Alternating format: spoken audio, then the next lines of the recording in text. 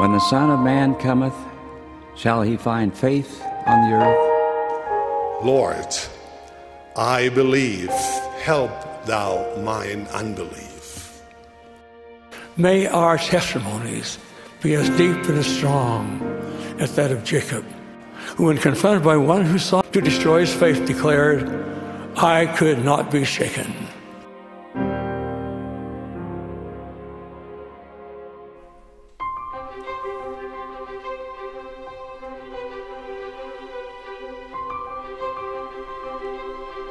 So turn the page and look at chapter 13 of Acts and watch the first missionary journey of Paul unfold. It's incredible. Hold on to everything we learned in the first half, but now move into the second and look at verse 1, 2, and 3, and we will see the church already expanding and extending its borders. How's this for a cast of characters?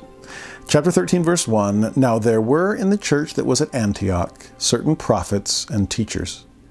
Now we already met a prophet, Agabus, but he's not alone in that calling. There are others with the gift of prophecy, others that have the testimony of Jesus, which is the spirit of prophecy. They're prophets, they're teachers, and here's a few. As Barnabas, who we've met several times already, and Simeon, that was called Niger, and Lucius of Cyrene, and Manaen, which had been brought up with Herod the Tetrarch, and Saul. Now, interesting cast of characters here. We know Barnabas, we know Saul, but these others in the middle, Simeon called Niger. Now, Niger is the Latin word for black. And so some have wondered if Simeon Niger, some call him Simon Niger, was a black African, which would be beautiful to just see the spectrum within the church of Jesus Christ. Some, in fact, the fact that Simon called Niger is linked with Lucius of Cyrene, some have wondered if Simon is also of Cyrene, just like Lucius was, which has led some commentators to suggest could this be Simon the Cyrenian? Was the, the Simon that we met in the Gospels that carried the cross of Jesus? Is that, is that Simon Niger? Perhaps, could be. Someone from North Africa that had come from Cyrene up to Jerusalem during the Passover feast. The other name that's interesting is Manaen because it mentions, we don't know anything about him other than he was brought up with Herod the Tetrarch. Hmm, is this a man with political connections? Did he have to sever those connections when he became a Christian? Was he still trying to have some kind of link where he knows what's going on in, in among the powers that be? Uh, was there a self sacrifice on his part? It's so much that we don't know about these men, but we do know their faithfulness. In fact, the next verse says, As they ministered to the Lord and fasted, the Holy Ghost said, Separate me, Barnabas and Saul, for the work whereunto I have called them. And when they had fasted and prayed and laid their hands on them, they sent them away. Oh, there's strength here among these prophets and teachers. There's power and authority here among Simeon and Lucius and Manaen. They're fasting for each other. The Spirit comes and says, I need Barnabas and Saul. Separate them to me. Interesting. To separate means to set apart. That's the what language we use. Set apart and separate was the language of Numbers chapter 6. Remember that chapter about the Nazarite vow? That people setting themselves apart, separating themselves from the rest of Israel, living higher standards to perform higher callings for the Lord?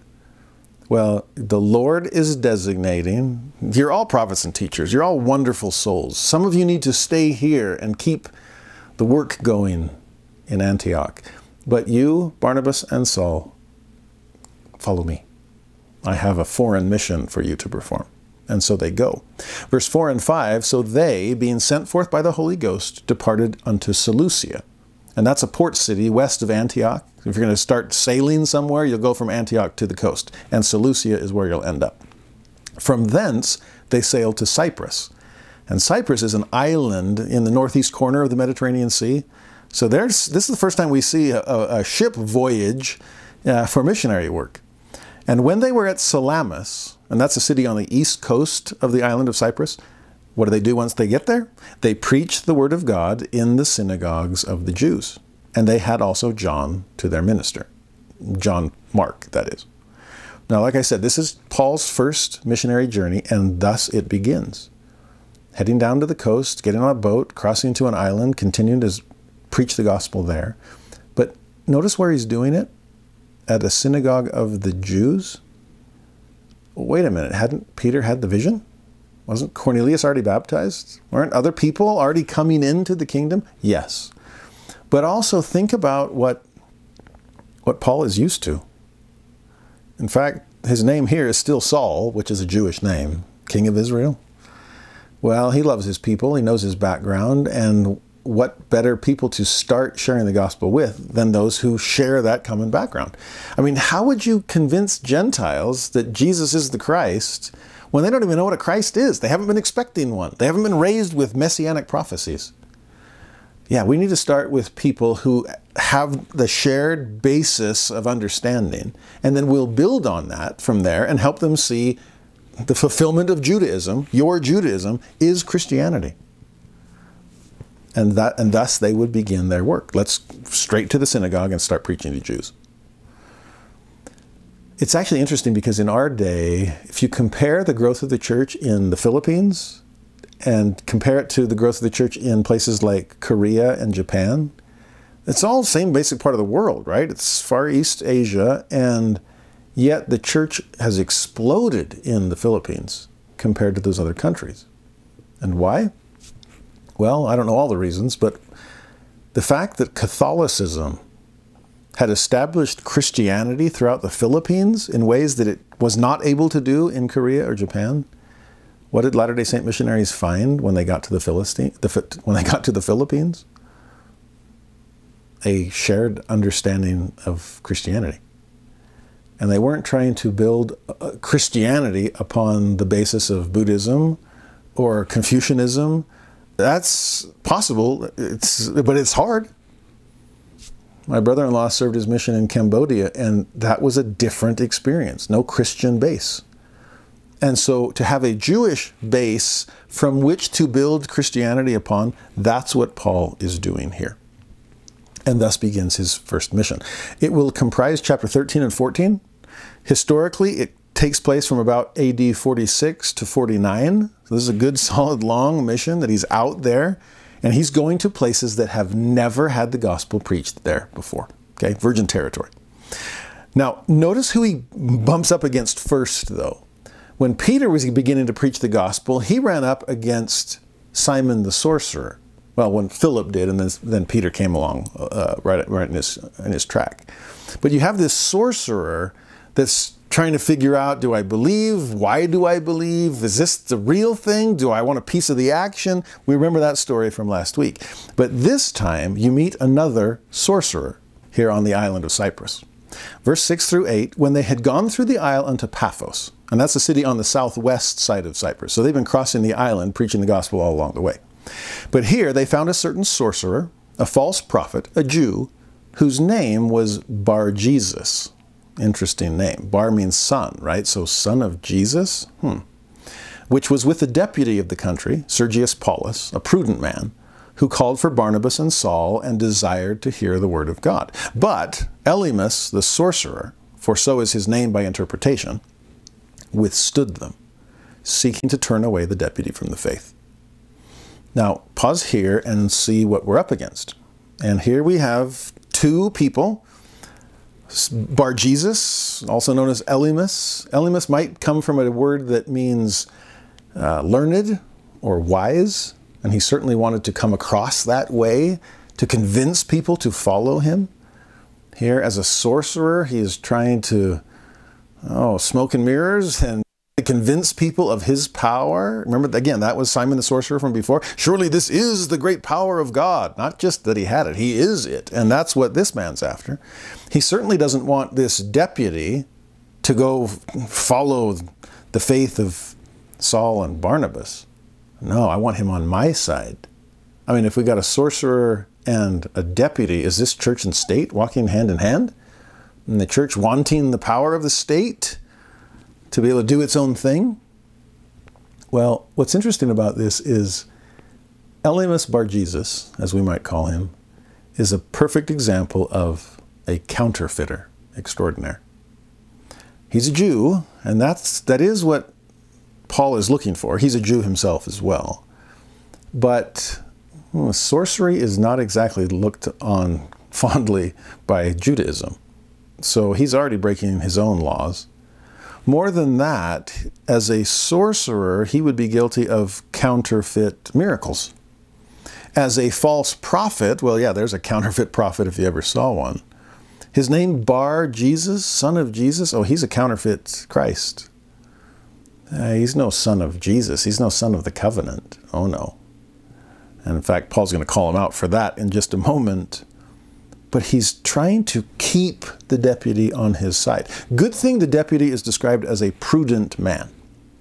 Because if he's prudent, prudence would demand that he have an open mind and an open heart and hear the stories before he passes premature judgment. Now, that's not what Elymas Bar Jesus wants. He wants the judgment already passed, and don't listen to these people. He withstands them. He wants to turn away the deputy from the faith, assuming that if he just has a chance to hear it, he'll probably join them and leave me. I mean, that, that's how you spot a counterfeit. You compare it to the real thing.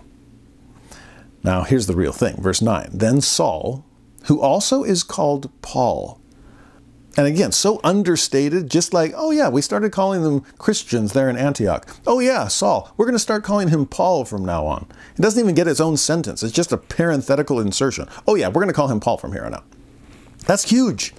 This is a change of name that represents a change of identity. I mean, a change as dramatic as what he experienced is deserving of that kind of newness. Saul is a Hebrew name, like I said. Paul is a, a Latin name. It actually means small, by the way. It means little, which would be in keeping with the humility Christ wants for his apostles. Peter wasn't getting a big head. Paul shouldn't either. He needed to remain little in his own sight. In fact, remember Saul? He got a big head, and the Lord, through Samuel, had to chastise him. When you were little in thine own sight, oh, Saul, you should have been appalled too. Well, this Saul, we're going to solve that problem early on. And so now we're going to call him Paul. And what do we learn about him here? He is filled with the Holy Ghost. That describes him beautifully. Well, he set his eyes on his adversary, on Elymas Bar Jesus. And setting his eyes, yeah, there's Paul quick to observe. There's Paul discerning. There's an eagle eye looking for marks of a counterfeit. And oh, he sees them and calls them out. He said, Oh, full of all subtlety and all mischief. And those are fighting words. Subtlety is the word that described the serpent in the Garden of Eden. Subtlety, the Greek there, means deceit and guile and treachery. It literally means bait. So, this Elymas Bar Jesus is a counterfeit fisher of men. He's just sending out lures and bait to try to catch people in his own trap. Mischief also has some interesting synonyms. It means craftiness, it means recklessness, it means cunning. So while Paul is filled with the Holy Ghost, his counterpart is filled with subtlety and mischief. Keep reading. Paul says, Thou child of the devil. Again, you're no bar Jesus, you're bar Lucifer. You're a child of the devil. Thou enemy of all righteousness. Wilt thou not cease to pervert the right ways of the Lord?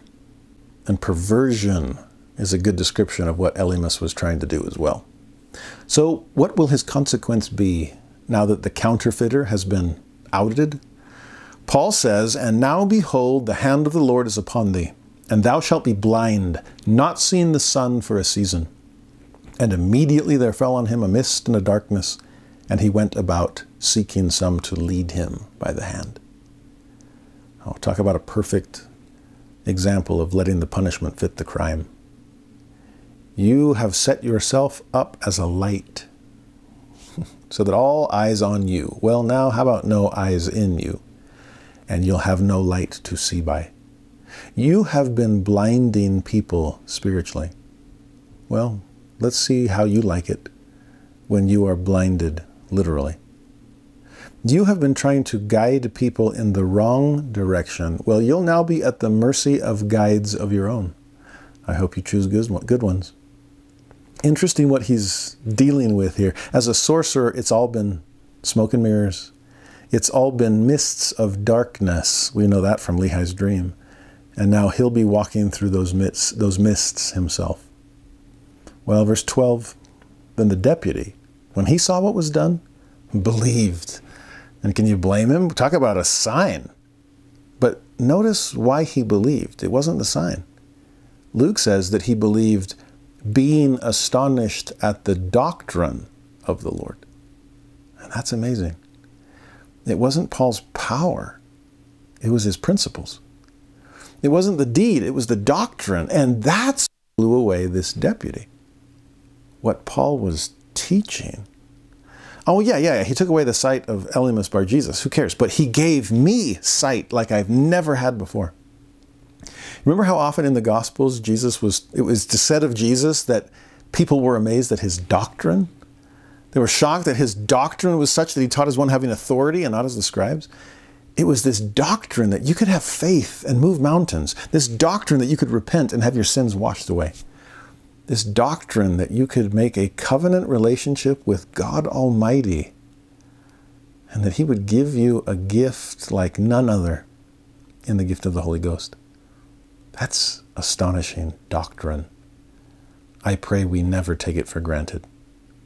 If we're waiting for something more visible, perhaps we've already been struck blind and don't have eyes to see the evidence of God and His goodness all around us in the doctrine we've been taught. With that in mind, this stage of the mission is, is over. And time on the island of Cyprus has come to its, its close. We have a deputy now. We can leave him behind. And as someone in authority, he'll be in a position of influence to bless all those that, that are under his care. So, where do we go next? Verse 13 Now, when Paul and his company loosed from Paphos, they came to Perga in Pamphylia, and John, departing from them, returned to Jerusalem. Now, can we pause the mission for just a moment and make sure we're on the same page as far as geography and our cast of characters is concerned? Because we're just starting this mission. I don't want to get lost early on, but we need to understand where they're going. To this point, Christianity has been a Jewish sect, and it's been basically centered in Jerusalem and Judea. But back in Acts 1, Jesus himself said, as the risen Lord, that's just the beginning. From there, go to Samaria, and they do, a little bit to the north. From there, go to the uttermost ends of the earth. And we seem to be moving in that direction.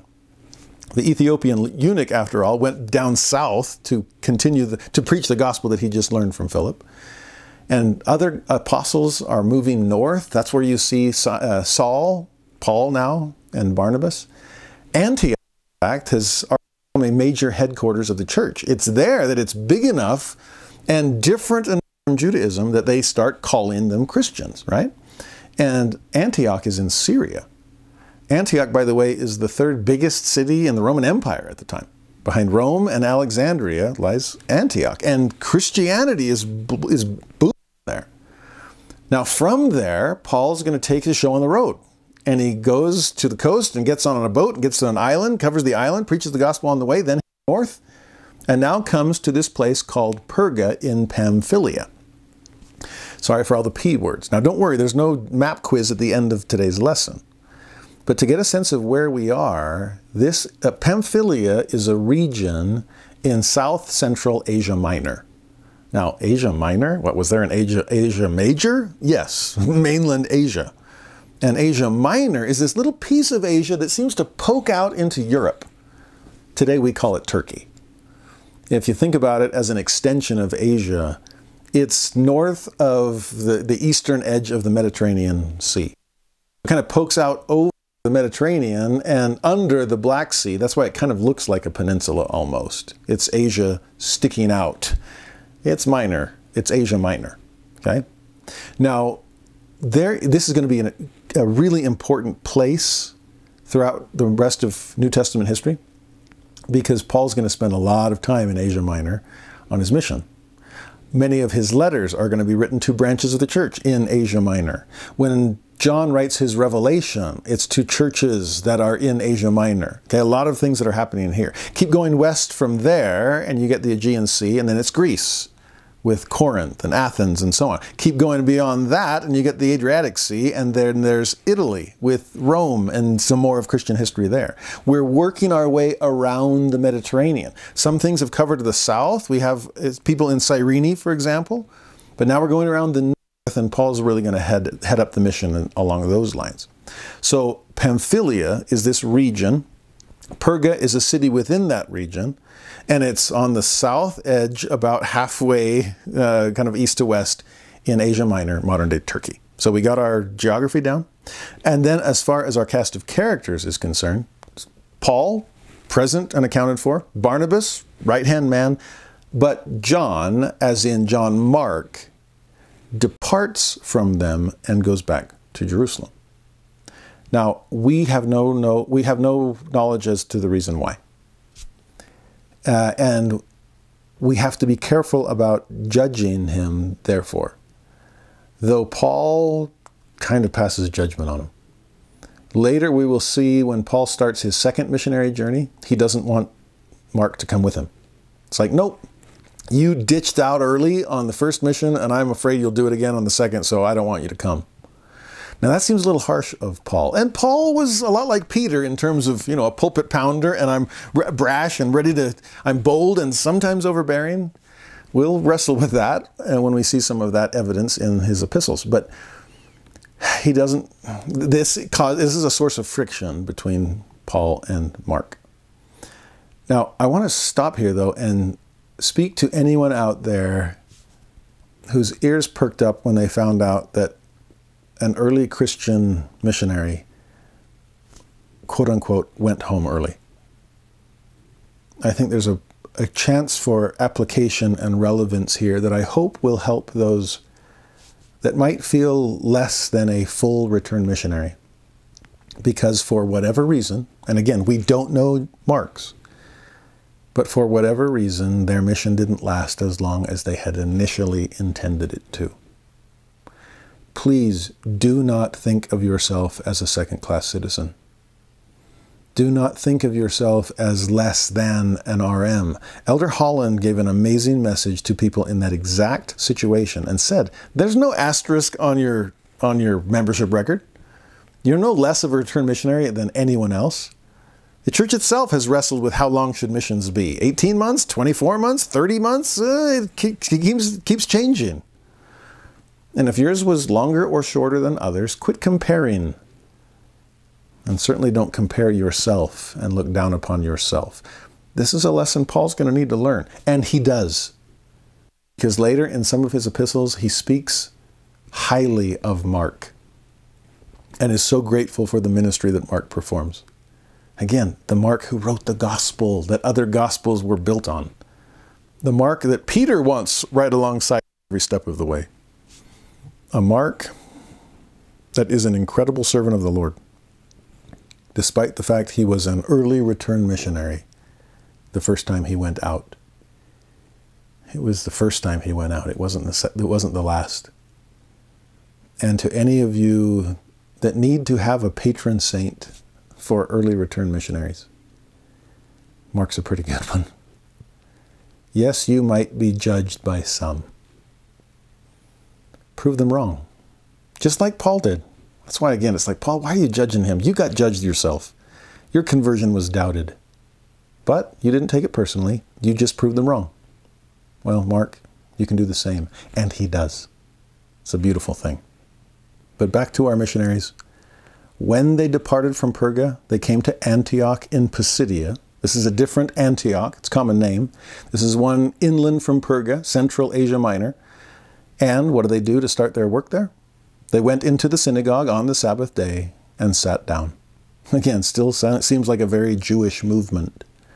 And after the reading of the law and the prophets, which is what they did in synagogues on the Sabbath, the rulers of the synagogue sent unto them, saying, Ye men and brethren, if ye have any word of exhortation for the people, say on.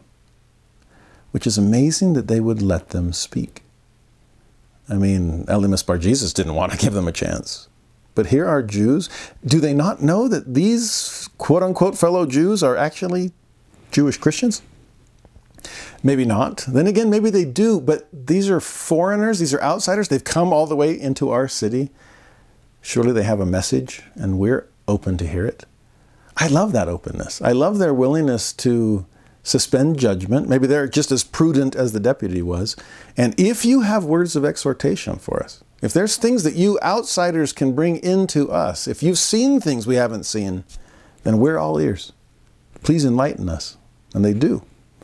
Verse 16 then, Paul stood up and beckoning with his hand said, Men of Israel, and ye that fear God, those are those God-fearers that we first talked about when we met Cornelius, outsiders that are acting like insiders and wish they could be. So, Israelites, God-fearers, give audience. Oh, Paul wants their undivided attention. He's standing, he's beckoning, he's telling them, Lend me your ears, friends, Romans, countrymen. The God of this people of Israel chose our fathers. Here's Paul the Jew clearly identifying himself with his audience. This people, it's Israel, it's our fathers. I'm on your side.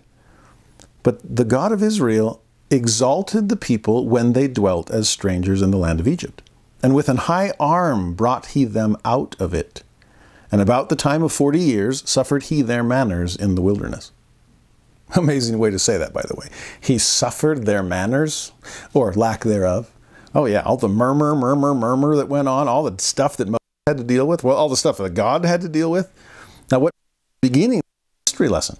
Now, it's going to be a lot shorter than Stephen's, but he is trying to establish Israelite history, his own Israelite identity, and help move people from that past to this glorious present in Christ fulfillment of all that they've been preparing for.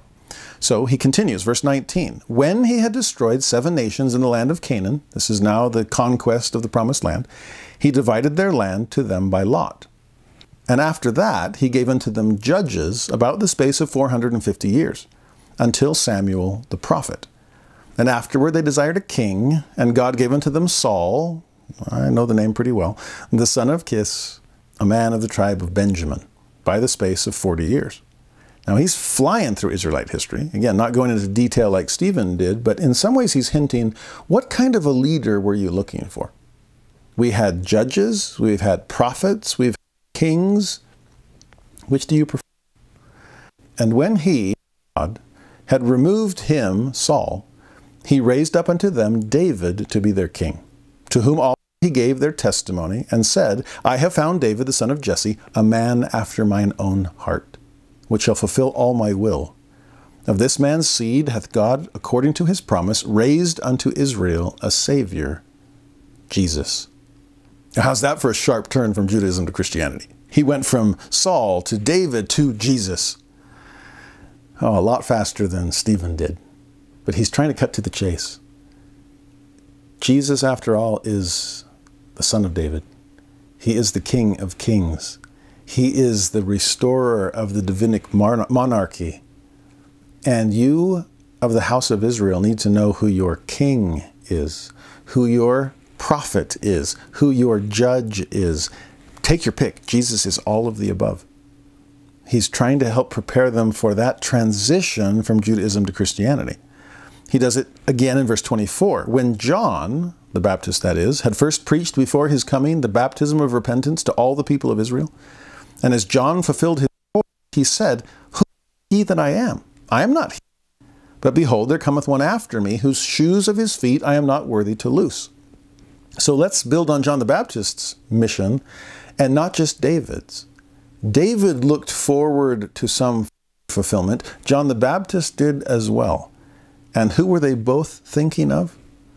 Jesus. You accepted John the Baptist. Will you accept the one that John was pointing toward and preparing people for? Verse 26 Men and brethren, of the stock of whoever among you feareth God, you God-fearers too, listen up.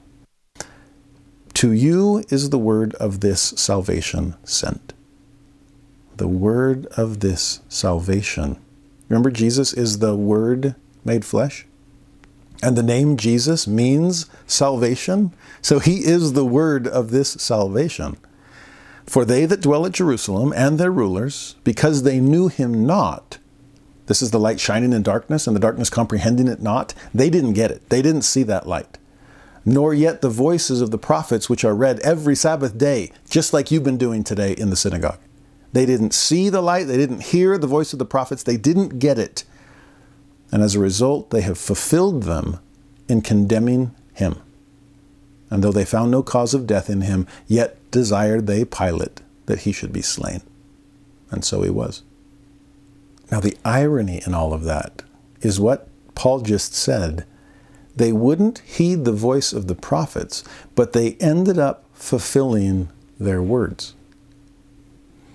They wouldn't listen when the prophet said, This is Christ. Instead, they fulfilled the messianic prophecies describing his death, his rejection, and eventually his resurrection. In some ways, this reminds me of the mission field when you'd meet people that would say, Oh, no, no, I don't believe in the Book of Mormon because I already have a Bible. I'm like, Oh, well, you don't believe in the Book of Mormon, but you just quoted it. And in fact, though you don't believe it's prophetic, you just proved that it is because you fulfilled one of its prophecies. Look right here in 2 Nephi 29. And isn't that basically what you just said? Yeah, they knew you would. In a similar vein, what's happening here, you fulfilled the words of prophets that you didn't believe because they bore witness of Christ and you wouldn't believe in Christ. Instead, you crucified him. But, verse 29, when they had fulfilled all that was written of him, they took him down from the tree and laid him in a sepulchre.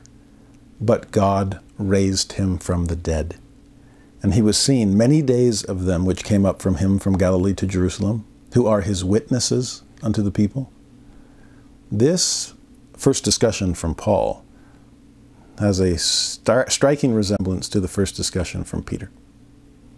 Peter spoke of the crucifixion and the resurrection, bore solemn personal witness of it, and now Paul is doing the same. Stephen had done likewise. He taught the history of crucifixion. He then gave a, an amazing witness of the resurrection in seeing Christ on the right hand God in the very moment of his martyrdom. How's that for a witness of the resurrection? His dying words. And now it's Paul's turn. Paul who saw the Lord on the road to Damascus. Paul who was a witness of the resurrection himself. Oh, no wonder his, his discussion, his, his witness is so much like Peter's. Verse 32 then, we declare unto you glad tidings. And isn't that what the gospel means? The good news? These are the glad tidings of great joy that shall be unto all people. How that the promise which was made unto the fathers, God hath fulfilled the same unto us, their children. In that he hath raised up Jesus again as it is also written in the second psalm Thou art my son, this day have I begotten thee. And as concerning that he raised him up from the dead, now no more to return to corruption, he said on this wise, I will give you the sure mercies of David. Now, Paul, are you, you showing off here? Uh, maybe a little? Well, no, not for his sake. But man, he knows his scriptures. He's a Jew trained Gamaliel, him, Gamaliel himself. And, and yeah, he knows the word of God. So he quotes the second psalm and says that, right? Second psalm, thou art my son, this day have I begotten thee. And Jesus is that begotten son of God, only begotten in the. And then when he talks about the sure mercies of David, he doesn't tip his hat to the reference, but that's Isaiah chapter 55, verse 3.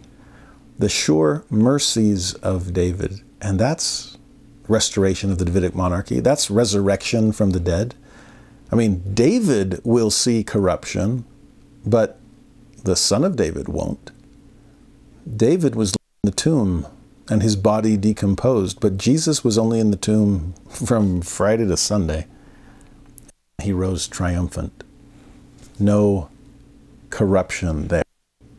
And all of this in service of what? Promise he made with the fathers. The fathers. This almost has a Malachi feel together, weaving these strands of scripture from the Psalm, Isaiah, hints of Malachi, all to bear witness of Jesus Christ. And the Malachi verse is speaking of the promises made to the fathers being planted in the hearts of the children so that hearts and tie together this family tree. The fathers, the patriarchs, that's Isaac, Jacob. That's house of Israel. That's seed of Abraham. And the Abrahamic covenant, which was made first to you, was in order to bless all the of the earth. It's happening. It's go time. And here we are preaching to you Jews first, but chomping at the bit to preach to the Gentiles too. There is so much in what Paul is preaching here. That's the glad tidings, if I've ever seen it.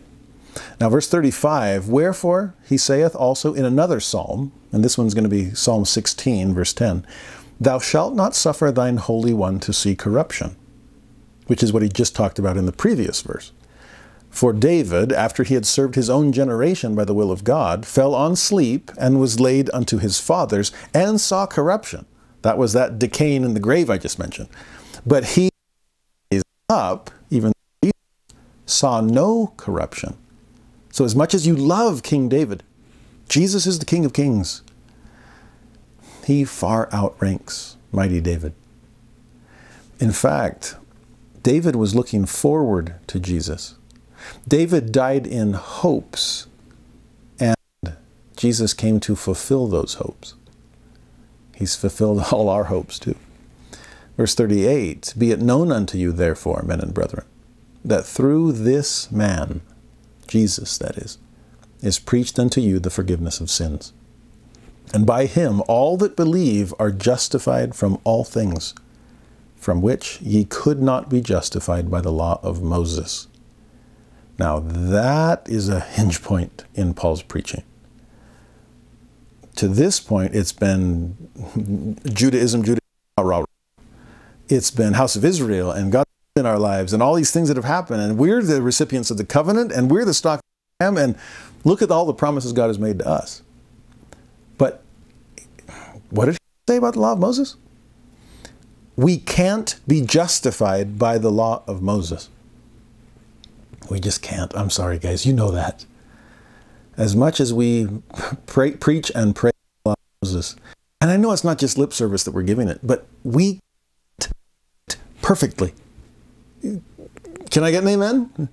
I mean, think about all the all the bad manners that God had to deal with among our ancestors in the wilderness. I don't know how much our manners have improved since then. Oh, we are not justified. We're not made straight.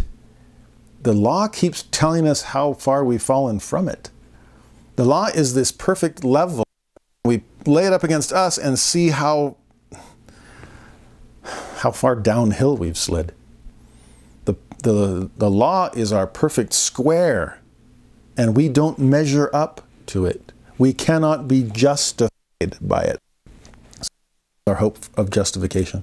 Paul will preach this so many times to so many people in all of his letters. But here we see this hint. First time he lands in Asia Minor. And he's he's trying to cut to the chase here. It's justification through faith in Christ. Not through our obedience to law, because our obedience isn't perfect. Our only hope is in Christ. So, verse 40 Beware, therefore, lest that come upon you which is spoken of in the prophets. And here he's going to quote Habakkuk, chapter 1, verse 5. I told you he knew his scriptures. Here's Habakkuk for you Behold, ye despisers, and wonder and perish. For I work a work in your days, a work which ye shall in no wise believe, though a man declare it unto you. And Paul could say, And I'm that man. Here I am, declaring God's marvelous work and wonder to you. So, what do you think? Will you despise and wonder and perish? Or will you beware of that tendency and choose to believe? I, I know I made a big jump from Israelite history to fulfillment in Christ. I know I just said some fighting words about the law of Moses, but this is God's marvelous work and wonder. It is marvelous. It's a head scratcher. It's resurrection after crucifixion. It is fulfillment of all these messianic prophecies, even while we remain under the Roman yoke. I know it's not what I expected, believe me. I was fighting against it just like you might be tempted to do. But beware. And let Habakkuk hiss from and warn you not to despise something that seems too good to be true. Please believe I am declaring it unto you, and I'm a personal witness. Now, there's no news about their reaction, at least not yet. But turn to verse 42. And when the Jews were gone out of the the whole way, the Gentiles be that these words might be preached to them the next Sabbath. I mean, they're assuming this must be a Jewish thing. And here we are, Gentiles, we're not invited in. But if these guys come around each Sabbath to preach, then can we have dibs on the next one? I mean, we heard some something talk about uh, justification outside the law of Moses. Oh, yeah, that perked up our ears. Is that even possible? What, what did you mean by that? Will you preach to us? Now, when the congregation was broken up, many of the Jews and religious proselytes, and a proselyte is a convert, they followed Paul and Barnabas, who, speaking to them, persuaded them to continue in the grace of God. And I love that patience on their part. You don't have to take our word for it, just continue in the grace of God. Think about what we've said. Take some time and ponder. If you're wondering within yourselves, that's okay. Peter himself was doing that after his vision of the sheet and the unclean animals. But he came to himself. I believe you will too if you'll ponder, if you'll wrestle with these things, if you'll consider the and the witness I just gave of the resurrected Christ, oh, I pray you'll have eyes to see and see truth before you. Verse 44 Sure enough, the next Sabbath day came. And when it did, came almost the whole city together to hear the word of God. Can you picture the multitudes just packing in, wanting to, to hear what Paul had to say? But when the Jews saw the multitudes, they were filled with envy and spake against those things which were spoken by Paul, contradicting and blaspheming. Oh, blaspheming? It doesn't sound like they were accusing Paul and Barnabas of blasphemy. They were the ones blaspheming. Now, I doubt they would be blaspheming God unless they're saying things about God that just aren't true. Like God has confined himself only to the house of Israel. Like God demands perfect obedience to the law of Moses because there's no other way to be justified. Well, maybe there is some blasphemy there. Then again, blasphemy also refers not just to God, but to God's servants. And they're definitely blaspheming Paul and Barnabas. Okay? Now, how, are the, how, is, how are the people going to respond? Uh, you definitely have some people opposed to this preaching now. You basically have a multitude of Elymas Barjesuses that are trying to turn away the deputy. Okay, the opposition will come anytime you you preach the truth. But notice what it was motivated by. The word was envy. They were filled with envy. And that's typically what lies at the root of opposition. It's why persecution grows when a church grows. Because why are they growing? And are they just taking from our members? Are they sheep stealing? That was a verb I learned in the South. And it made sense why evangelical Christians wouldn't like Latter day Saint missionaries. Now, there's envy there. Their growth is coming at our expense. But that does beg the question is religion a zero sum game?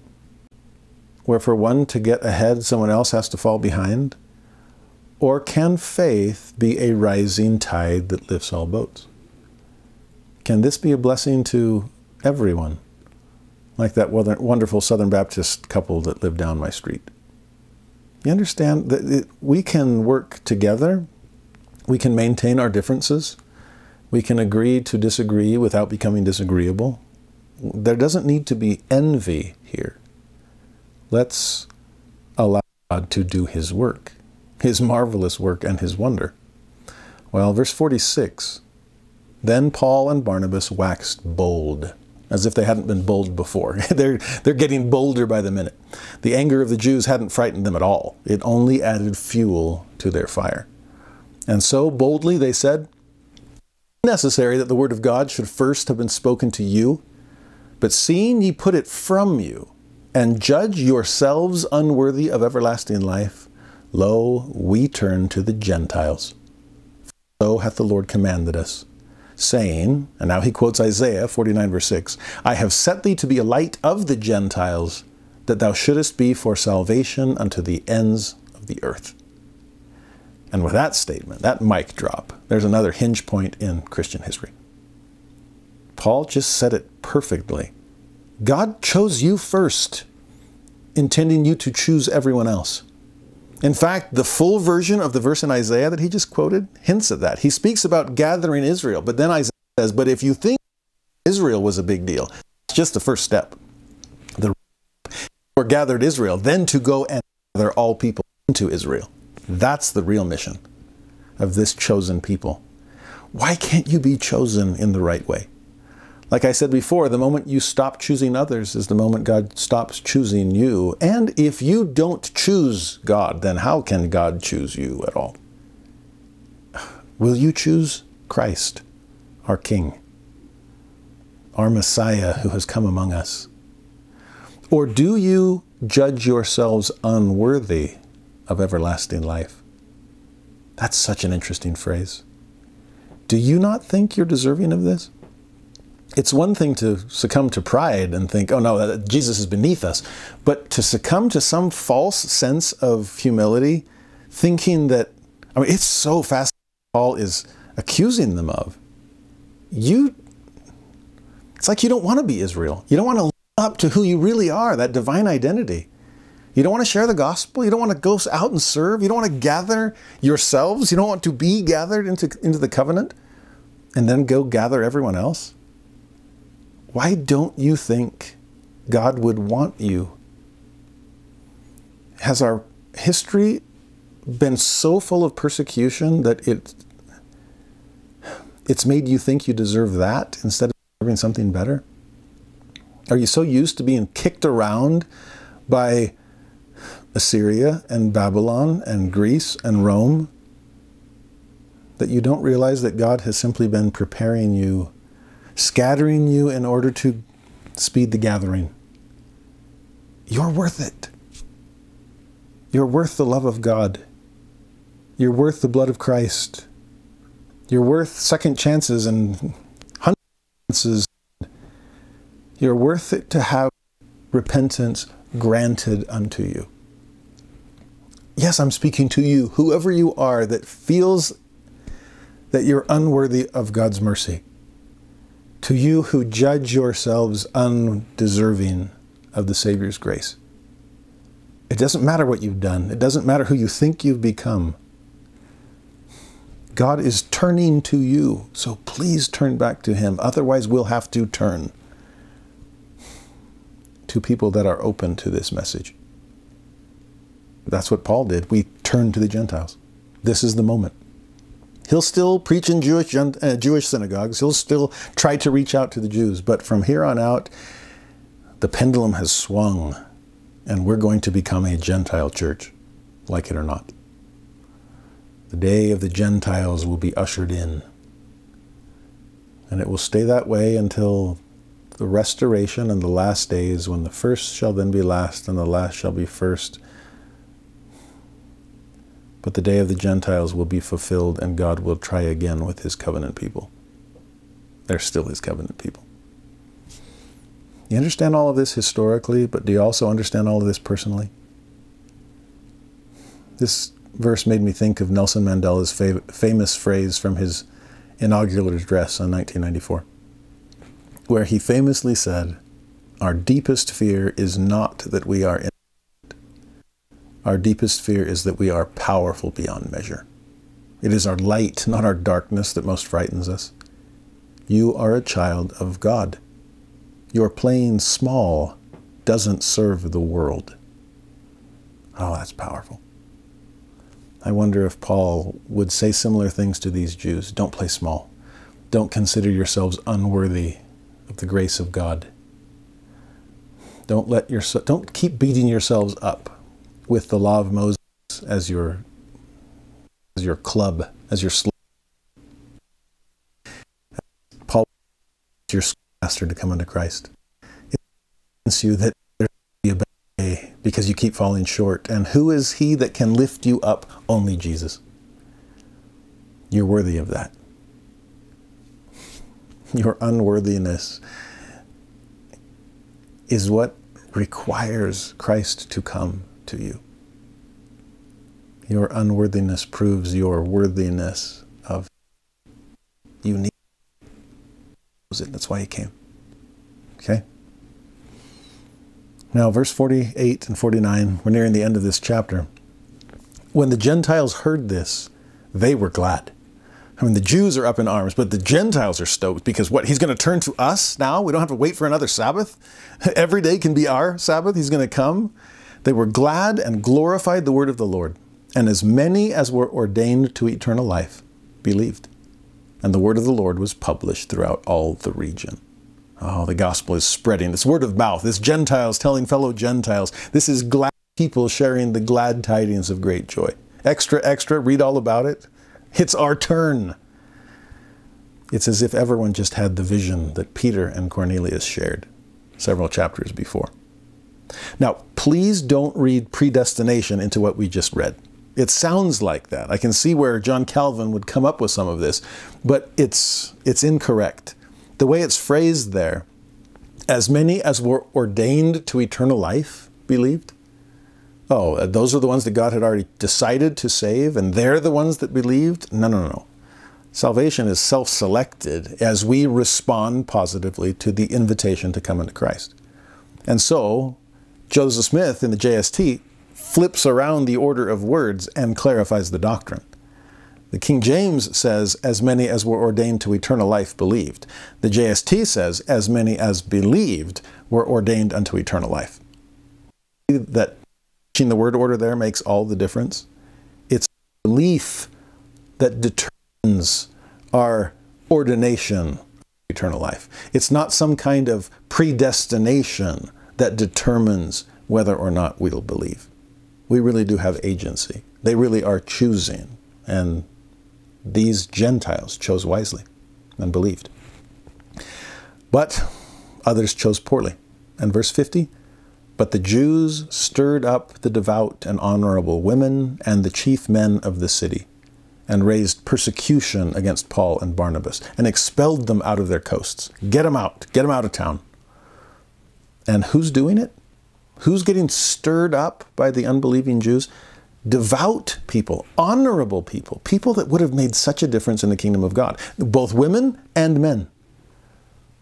Too often it's Satan's goal to get, keep people tied to lesser light, even though it's light, as long as it keeps them from the, the fullness of that light to stir them up, to get them up in arms, to make them more devout to Judaism than, than they'd ever been before. Chief men that could have made such a difference. But no, they've kicked out Barnabas and Paul, and how do they react? They shook off the dust of their feet against them and came unto Iconium. That's another inland city in Asia Minor, the southeast of Antioch of Pisidia that we saw a little bit ago. And the disciples were filled with joy and with the Holy Ghost, despite being expelled, despite being persecuted. No, they'd left their mark in that area. They had preached the gospel and people had accepted. Yes, others had rejected. Of course, that's going to happen. Multitudes, multitudes in the valley of decision. It's a sharp two sword and it cuts, divides asunder and sheep from goats and foolish from wise believers from non believers.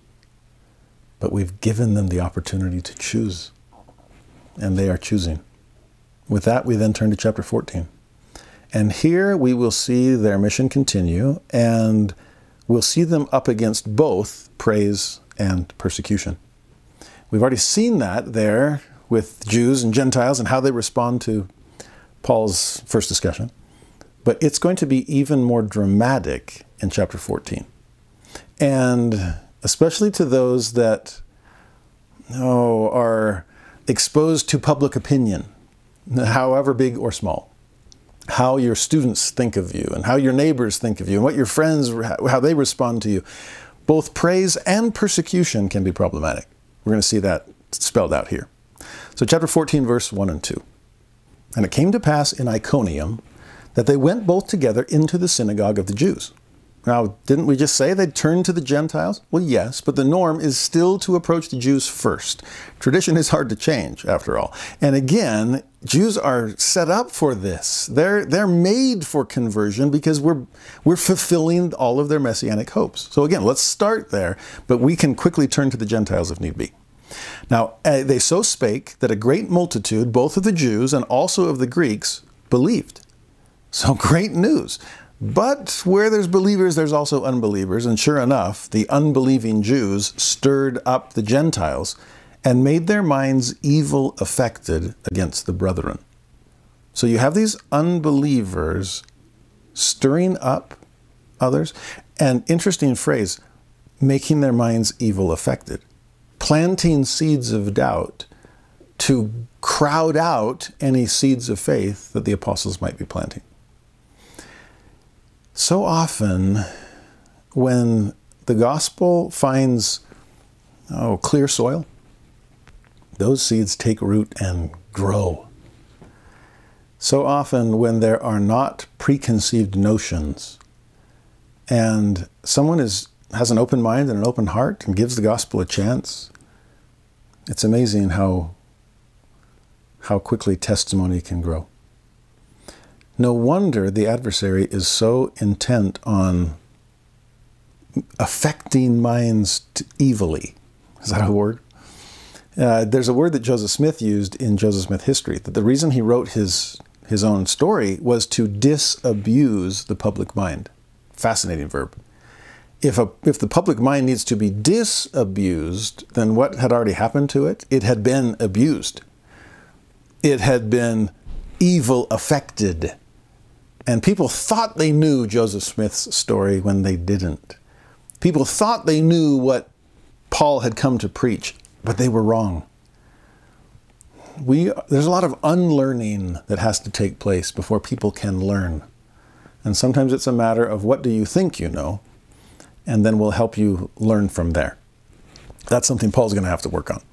Now, verse 3 and 4 long time, therefore, so be patient. Changing preconceived notions is going to take a while. Long time, therefore, abode they, speaking boldly in the Lord, which gave testimony unto the word of his grace and granted signs and wonders to be done by their hands. I love the patient approach here. Let's abide. Let's stay. Let's keep speaking boldly. Let's keep giving testimony. The word of God's grace is what will soften hearts and change minds. The signs and wonders that we will give can be evidence of that faith. But the multitude of the city was divided, and part held with the Jews and part with the apostles. Again, it's that two edged sword I mentioned before sheep and goats, and wheat and tares. But the Lord is giving them time to decide will you join the apostles or play the part of their persecutors? Jews and Gentiles, believers and non believers, which side will you be on? Now, verse 5 to 7 intensifies things. Because when there was an assault made, both of the Gentiles and also of the Jews, with their rulers, to use them despitefully and to stone them, they were aware of it, and fled unto Lystra and to Derbe, cities of Lycaonia, and unto the region that lieth round about. And Lystra or Lystra is south of Iconium. It's Derbe is even further east of that. So what's happening? They're spreading. Sure enough, last phrase, there they preached the gospel. So try as you might, you're not ending things, you're just extending things. You're pushing them down the, the row, and that's where they wanted to go eventually anyway. But it is interesting to see this intensification of the opposition. It's not just wars of words and tumult of opinions. It's it's sticks and stones and breaking bones. It is assault and stoning they're talking about here. Wanting to create more martyrs to the faith? Stephen wasn't enough. James wasn't sufficient. No, we want to end things for Barnabas and, Paul. But no, they won't be ended. Instead, they just move on, go forward, flee one place just to go build faith in another. That can't be stopped. Now, verse 8 through 10, we'll see what happens next now that they're in Lystra. they'll meet someone that needs them in a different kind of way. There sat a certain man at Lystra, impotent in his feet, being a cripple from his mother's womb, who never had walked. And we seem to be meeting a lot of those in the book of Acts. We met a few in the Gospels, but here we've seen Peter and John raise the lame man on the steps of the temple. We saw Peter raise Aeneas to his newly strengthened feet. Well, this man, probably hoping for a similar miracle, his entire life has been spent without the ability to stand on his own two feet. Well, that's about to change because the same heard Paul speak, who steadfastly beholding him, that's Paul looking at him steadfastly, and perceiving that he had faith to be healed, said with a loud voice, Stand upright on thy feet. And he leaped and walked, just like the man from the Temple Mount. Oh, whenever faith to be healed, which is what Paul recognized in this impotent man, meets faith to heal, which Paul had himself, then look out, miracles are about to take place. Paul had that faith because he spoke in a loud voice, uh, loud enough for all to hear, loud enough for people to call him out if this didn't work. It's the same volume that Jesus used when he called Lazarus to come forth from the grave. There was no shyness, no hesitation there. And again, for Paul to recognize in this hearer, you want to stand, but more than that, you believe you can. Now that I am preaching of Christ, who performed those kinds of miracles, who can conquer death, let alone the affliction you've been suffering with. Oh, to stand, to walk, to leap. What's the message here? If you can't stand on your own two spiritual feet, have the faith to change. If you lack direction and momentum, you cannot move forward on the path, then have the faith to be healed. And come listen to a prophet's voice and let them raise you off the ground to a higher level of living. Have them move you forward along the covenant path. I feel strengthened in my feet every time I listen to President Nelson. Now, the people are going to react to this in one way or another. We've seen dual reactions in the past. Some believe, some don't. Some side with the Jews, others uh, side with. What's going to happen here? Verse 11 When the people saw what Paul had done, they lifted up their voices, saying in the speech of Lycaonia, The gods are come down to us in the likeness of men. And they called Barnabas Jupiter, and Paul Mercurius, because he was the chief speaker. Remember, in the Roman pantheon, Jupiter is the, the chief god. Does that suggest Barnabas seems to be calling the shots here? Or Paul is Mercury. Mercury is the messenger of the gods. And that seems to be what Paul's doing, speaking on behalf of divinity itself. Now, that's the Roman pantheon. If this were the Greek pantheon, it would be Zeus and Hermes. Either way, they are trying to deify these men. Because who could possibly give strength to a man born lame? Oh, this must be a, the gods have descended to be among us. In fact, more than just giving them these divine names, notice the priest of Jupiter, which was before their city, brought oxen and garlands unto the gates, and would have done sacrifice with the people I mean, imagine that. They are ready to offer animals by way of sacrifice to these mere mortals that they consider gods having come down to earth. Hmm, will this go to the apostles' head? That's the question. That's the hope of their enemies, right? The hope of the adversary who succumbed to pride himself. It's so interesting that the adversary never gives up. He just retreats and regroups and then retries.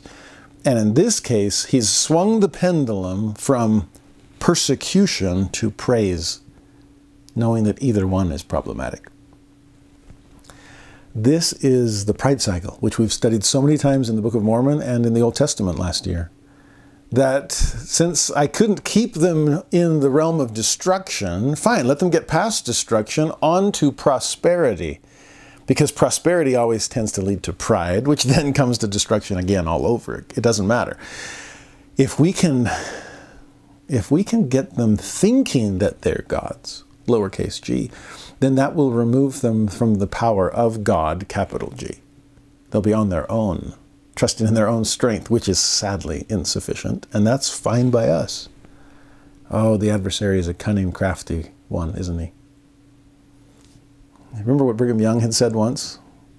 That well, the saints were beginning to settle in the Salt Lake Valley and begin to spread and get to the point where they might actually survive, Brother Brigham said in his, his inimitable way, I am afraid of the third of the three P's. The first P we endured was persecution. We came out stronger as a result. We then had to suffer poverty, but we came out on the, of that as well. The P I'm most worried about is the P of prosperity. And then Brigham's language, because here I'm afraid we will grow rich in these valleys of the West. And as a result, we will wax fat, kick ourselves out of the church, and go to hell. How's that for Brother Brigham? Well, we seem to be in the process of that. Uh, are we waxing fat? Well, guilty as charged. Are we kicking ourselves out of the church? Well, not even kicking. We're just leaving. And so much of that is based on our own pride, born of our own prosperity. I don't need God. I'm fine without him.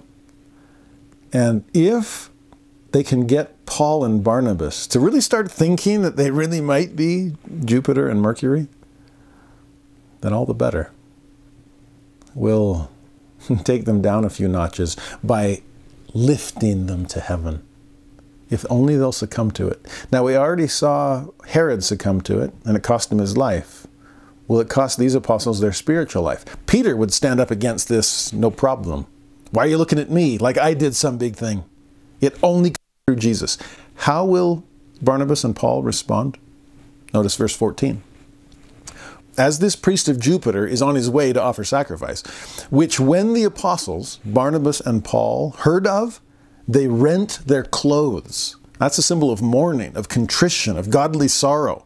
And they ran in among the people, crying out and saying, Sirs, why do ye these things? We also are men of like passions with you, and preach unto you that ye should turn from these vanities unto the living God, which made heaven and earth and the sea and all things that are therein. And that's not us. We didn't create any of these things. In fact, we didn't even heal the lame man. I mean, sure, it was our hands and our voice and so on, but no, this only God can do that. And it's the real God, the, the living God. We are simply his servants.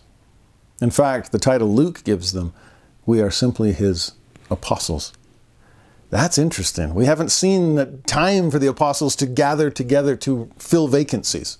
There would have been another vacancy with the death of James, for example, but have they gotten together like we saw in, Luke, in uh, Acts chapter 1 to discuss and present names to the Lord for his decision?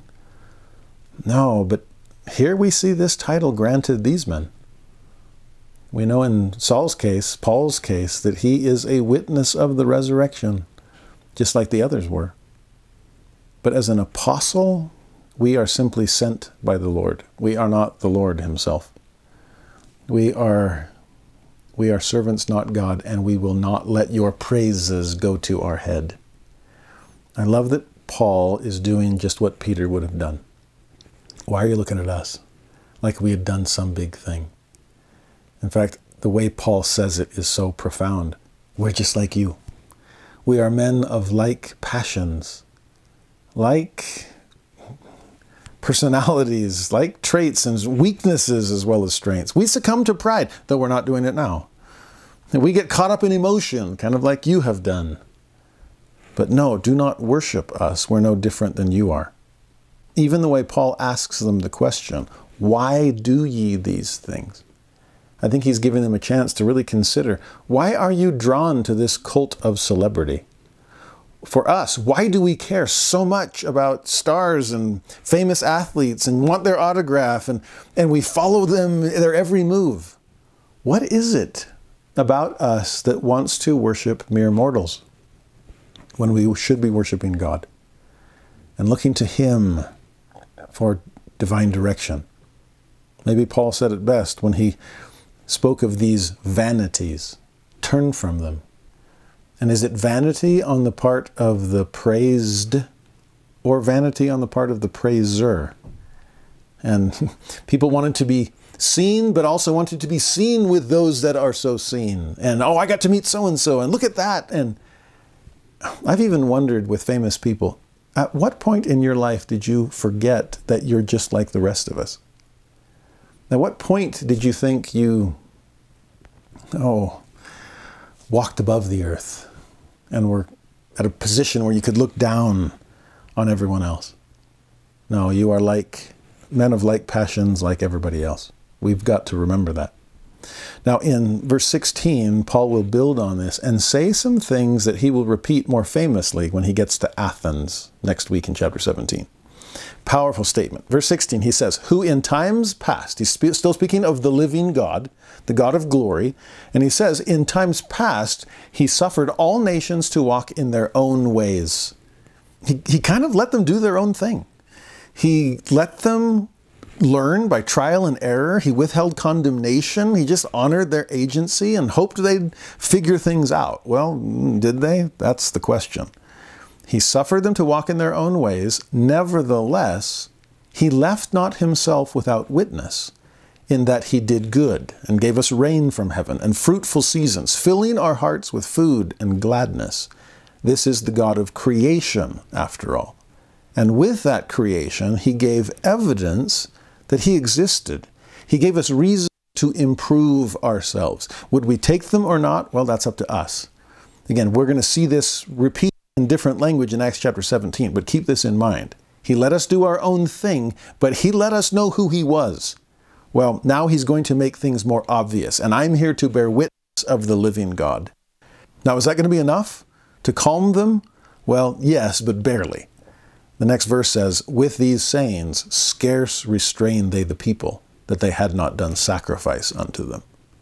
They barely stopped the people from worshiping them like gods in the form of men. No, we're just men in the form of men. Not what don't look at us. Look heavenward. As I've pondered this, especially as a teacher, and I think too often, especially when you teach youth, teenagers, oh, there's, there's fickle opinion for you. And they will love you one day and, and cast you out the next. Uh, I always joked with the early morning seminary teachers I trained in the South that this, is call, this calling is relentless. You can have a life changing morning one day, and the veil parts, and the angels sing, and the students just float off to school praising your name the whole way. And you still have to prepare a lesson for tomorrow. Because if it's boring, they're going to they're to destroy you. It's a tough one. And the, the interesting thing about teaching or leading is you're in a position of influence and if you if you're any good at it or if you keep it up and get better then hopefully the good days will outnumber the bad. There'll be more praise than persecution. Uh, but we often seem ill-equipped to deal with praise. We let it go to our heads and we start breathe, we start inhaling to quote elder uchtdorf. We start thinking that, oh, yeah, maybe I am hot stuff. And that's the pride cycle's next step toward destruction. From Paul's example here, we've been talking about P's of persecution and praise. Can we introduce a few P's as far as how to diffuse those situations? Because what I love in the example of Paul here is first P, purify. Purify your motives. Make sure you're doing this for the right reasons. And I believe Paul is doing that through his entire ministry. This same Paul who remembers himself as Saul, who knows that repentance was granted to him, though undeserving on his own part.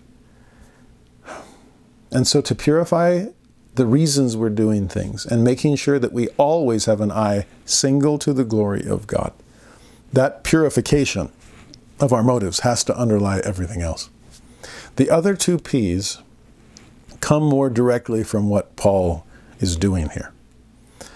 The second P is to protest, which he does. He protests their exaggerated praise. Don't do that. Now, in, for us, that doesn't mean denying every compliment. That can sometimes be false humility. Uh, and, and, that's, and that's not what the Lord is after. That might be meant then for the third P, which helps solve all the problems, and that is to point in the direction of the Savior.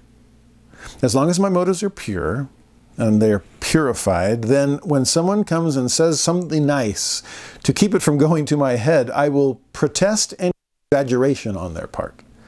I will. I, am not going to shut them down because that's refusing a gift that they're offering you. Just a kind word of gratitude.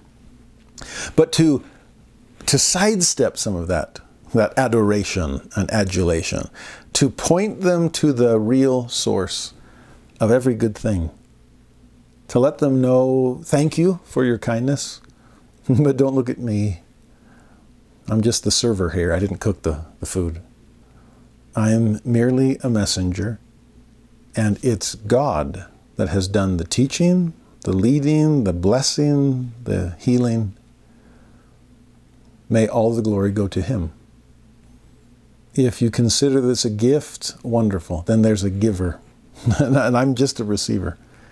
And may the glory go to the giver of the gift. Purify, protest, and point. And hopefully we'll avoid succumbing to the sins of pride. We all need to work on it. It is a universal sin, after all. Next, in verse 19, notice what the apostles do. There came thither certain Jews from Antioch and Iconium. Now that's where they had last been preaching, okay? And these Jews come to this next city. They've been following the apostles everywhere they go, and they persuaded the people. And having stoned Paul, drew him out of the city, supposing he had been dead. Man, the pendulum swung back quickly. They tried persecution to the point of stoning first, didn't work. They fled, got out of the way. Now we tried praise. Ooh, that didn't work. Well, let's go back to our old bread and butter. Let's just persecute. Let's just try to end things now. These people are so fickle, they're so easily swayed. And so are people in our day. No wonder we need to get our sense of self from God and not from others. Because otherwise, they'll, no, they'll crown you today and crucify you tomorrow. They'll They'll shout, Hosanna, son of David, on Palm Sunday, and then shout, Crucify him on Good Friday. But here, with Paul at the point of death, in fact, people supposing he had been dead, notice the next phrase, howbeit as the disciples stood round about him, he rose up. There's a little mini resurrection there, following the example of Christ. And he came into the city, and the next day he departed with Barnabas to Derbe. So looking for greener pastures, seeking safer space, but nothing's going to stop the apostles. Here's Paul nursing his wounds, just like Peter and John had done when they left the prison, but just looking for their next opportunity to open their mouths and let them be filled.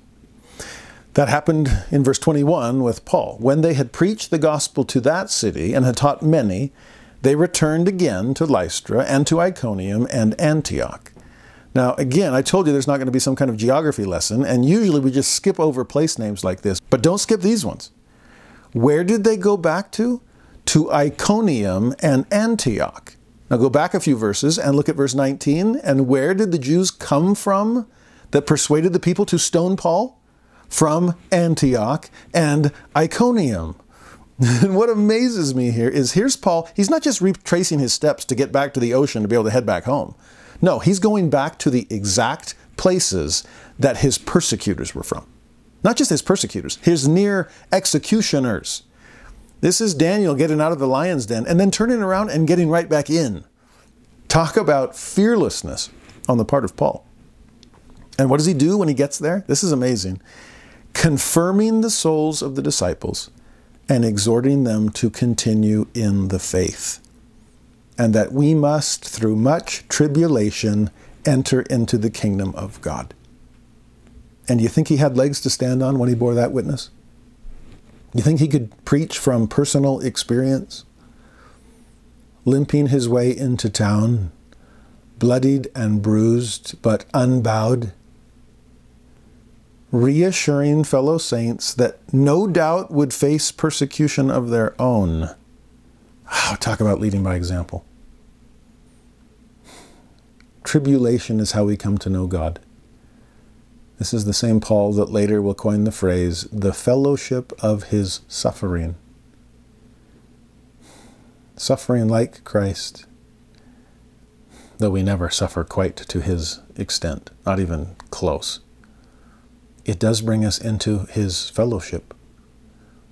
We come to know God in our extremities. And this persecution that I've endured has introduced me to the Savior in ways I couldn't have known otherwise. So, confirming their souls, yes. Exhorting them to continue in the faith despite the winds of opposition that were blowing all around them, yes. Through much tribulation come the blessings. Joseph Smith could bear a similar testimony post Liberty Jail. And as many saints remarked, he was a different man after that experience. I think we're seeing similar change, maturity, growing up in God, uh, a stiffening of the spine, uh, steeling of the nerves, and eye single to the glory of God, come what may. That's coming to Paul here. But it is time to leave, having confirmed them. Notice what he does in verse 23 through 25. And when they had ordained them elders in every church, and had prayed with fasting, they commended them to the Lord, on whom they believed. And after they had passed throughout Pisidia, it's an inland region where Antioch was, they came to Pamphylia, that's the region south of Pisidia on the coast. And when they had preached the word in Perga, that's that coastal city where they'd first landed, they went down into Attalia, which is another coastal city just to the west of Perga. You see what they're doing place by place? They're coming in, making a difference, and then making sure the difference remains. It's not in one door and out the other. It's not pop in and, and bear a few good tidings and then leave people. It's make sure the church can continue in their absence. This idea of a lay ministry, this idea of planting the kingdom, but then putting farmers in place to care for the, the striplings, these little plants, newly called shepherds to shepherd the flock. They're ordaining elders, they're praying and fasting, they're commending them to God, on whom they believe. That's another great phrase. You didn't convert because you believe in me.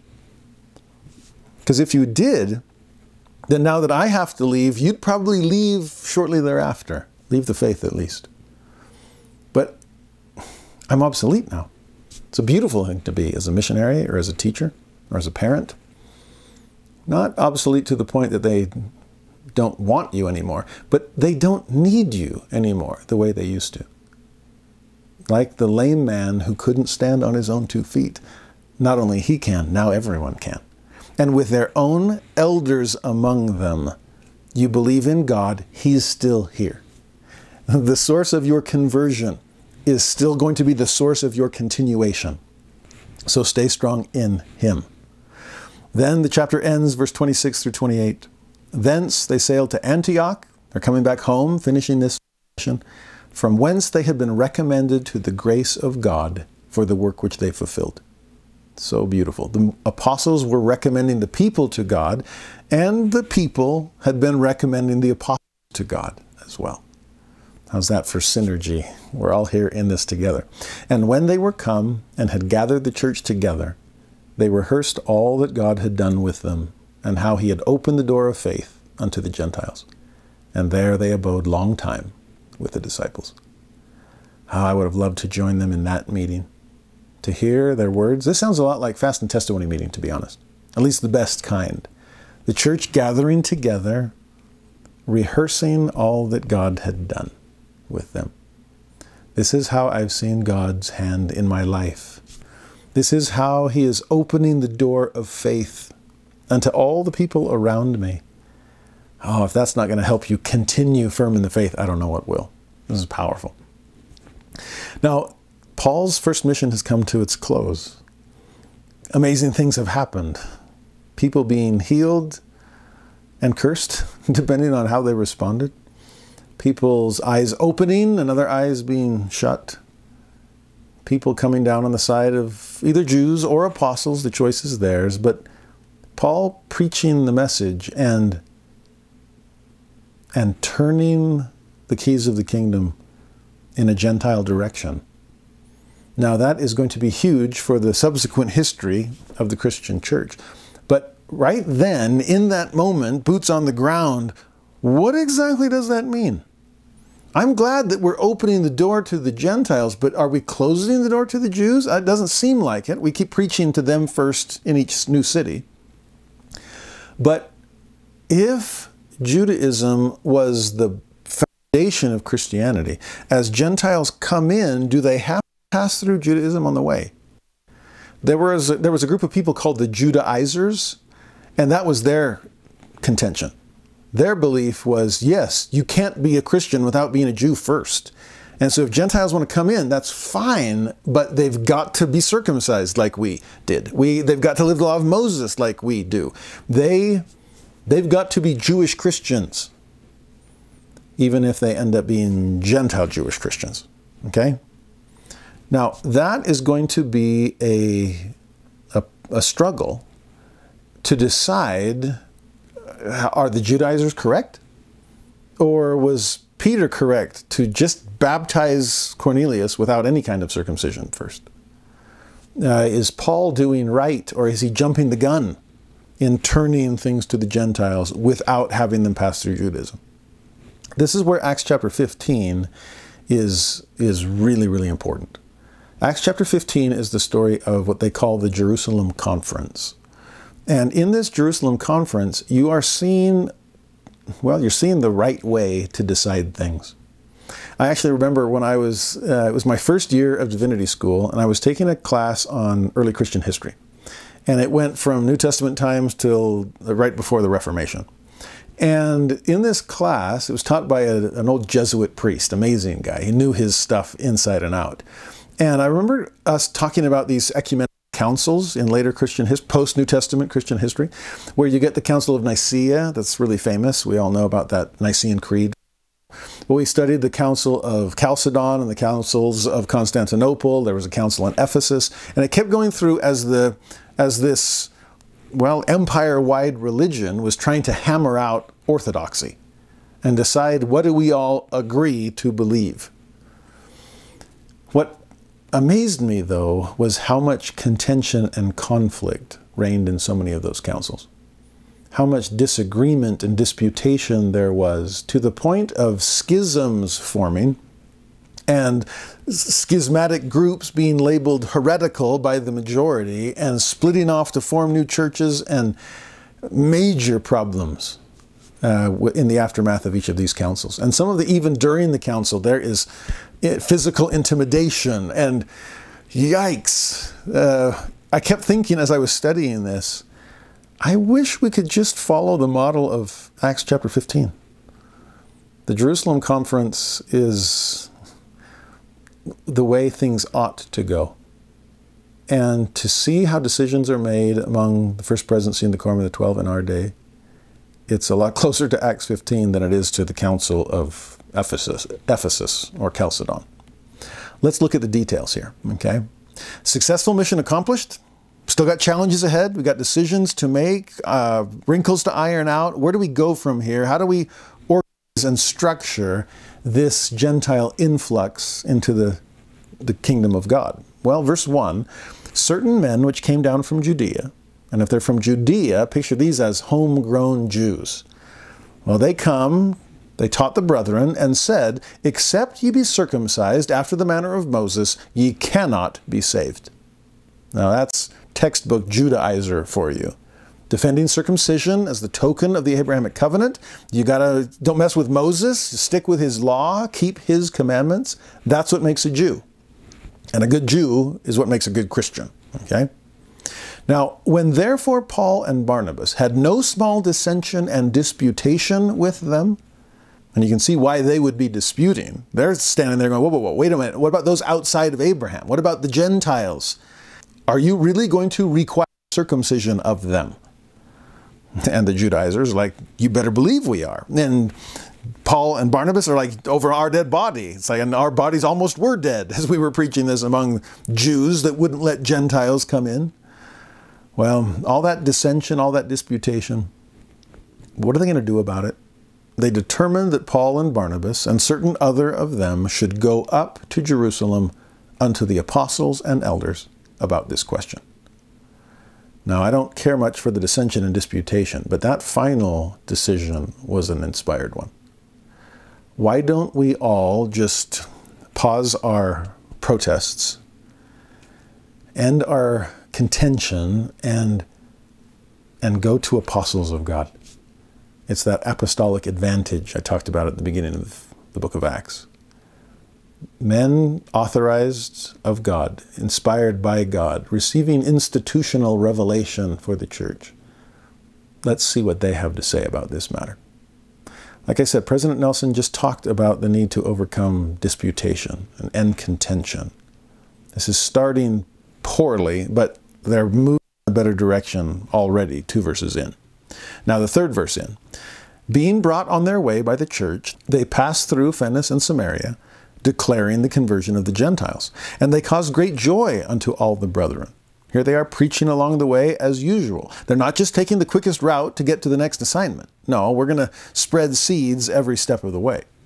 And when they were come to Jerusalem, they were received of the church and of the apostles and elders, and they declared all things that God had done with them.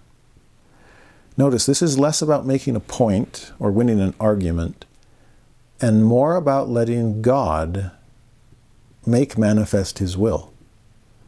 This reminds me of where we started this week with Peter having a vision, Cornelius having a vision, each having pieces of the puzzle, but sharing that piece with one another so that they could come to a fuller understanding. Here, Paul and Barnabas come and simply say, This is what we've seen. This is how we have seen God act among the Gentiles.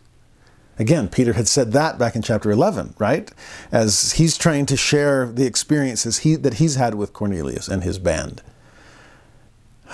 We saw the Spirit of God shed forth upon them, just like it had been shed forth on us. God seems to treat us all equally, with no respect of persons. It's a whole new day. Paul and Barnabas saying likewise, but letting God reveal his will. Verse 5 But there rose up certain of the sect of the Pharisees which believed. So, yes, at least they're believers. These are Christian Pharisees. But if they were Pharisees at all, that's a deeply conservative Jewish past. Every jot and tittle, right? The ones always making Jesus an offender for a word. Well, it's going to be easy to make Paul and Barnabas offenders here. And so, what's their decision? What's their plan? They said, that it was needful to circumcise them and to command them to keep the law of Moses. Well, the apostles and elders came together for to consider of this matter. This is a major decision. We can't minimize this. How much of Judaism is essential to Christianity and how much of Judaism is incidental to Christianity? You understand the difference? The essential things, that's what not only what made Judaism Judaism, it's what makes Christianity Christian. It's those parts that must continue. It's those things that Jesus said, I'm not here to destroy the law, I'm here to fulfill it. But what, what did he mean by that? What parts of the law are permanent, essential, unchanging? In fact, what is the law of Moses that you speak of? You're demanding that people keep it. What exactly do you mean by that, though? Because there's the the moral law, how we should treat one another, that does seem eternal. But there's the ceremonial law, the ritual law with animal sacrifice. We've already seen that change. First of all, there's, well, give it, a, give it time and there'll be no temple to perform those daily ritual sacrifices. So we're going to have to rethink that top to bottom. But even in the meantime, Christ came and the shedding of his blood put an end to the shedding of animals' blood. He wants a broken heart and a contrite spirit. So, what does that mean about the continuation of the law? We really are going to have to wrestle with this and decide what's permanent and what's changing. In some ways, we could do the same in our day to question church culture versus church doctrine. What are passing programs versus what are eternal principles? And what are just the way we've always done things versus the core doctrine of the church? Elder Uchtdorf once described a fledgling branch in Russia, I think, and said, a new branch president there, should he try to implement every bit of the full program of the church? And he said, Heaven forbid. Just start with the basics faith and repentance and baptism and the gift of the Holy Ghost. You'll grow from there. But it is wise, especially those that leave the church. I'm often asking them, what, what are you leaving about it? What is the church to you? And so much of what they describe that they're leaving behind is culture, to which I'll say, good riddance. I left that church long ago. But the gospel of Jesus Christ remains my sure foundation. And it's amazing to differentiate between the two. That's something they're going to have to figure out here. Okay? So, verse 7 when there had been much disputing, which again is not the right way to go about it, Jesus, when he was among the Nephites, three times condemned their disputation. Even though they're in pursuit of righteous ends, it's unrighteous means to get there. So, no, no disputation here. These people are still fighting over it. And in the midst of it all, Peter, chief apostle, rose up and began to speak. He said unto them, Men and brethren, ye know how that a good while ago God made choice among us that the Gentiles by my mouth should hear the word of the gospel and believe. In other words, God has been trying to make this transition for a while now if Paul's first missionary, missionary journey lasted you know, between two and three years, it's been a while. Cornelius has had a good long time in the church by now. And so God has been revealing his will already. He goes on, and God, he could say, not us, which knoweth the hearts. So he's not being fooled here. He's not being tricked. If you're not sure of the Gentiles' motives for coming into the kingdom of God, God is not concerned by those things. He's aware of it all. And God bear them witness, giving them the Holy Ghost, even as He did unto us, and put no difference between us and them, purifying their hearts by faith. Now, that's a phrase I would expect from Paul, but here it's coming from Peter. The Lord is purifying their hearts by faith. It's faith that is saving them. Faith in the perfect Christ, not imperfect obedience to the perfect law. You see, if it were saved by our obedience to law, then that obedience would have to be perfect, and we've all fallen short of that. No wonder we need God to grant repentance to us all. Well, He granted it to the Gentiles. He's granted it to us Jews. It's repentance either way. It's coming unto Christ either way. And if we do so, then no matter what our backgrounds might be, He grants us the gift of the Holy Ghost. I've seen it happen. He came upon us, He came upon them, and I couldn't tell the difference. We were new made men in our day of Pentecost. So were they. Go ask Cornelius. You'll be amazed by him. One of the things I love about this is it's as if Peter is saying, We're not trying to, to, to make the Gentiles more like Jews. Because being Jews was never the ultimate goal. Being true disciples of Jesus Christ was.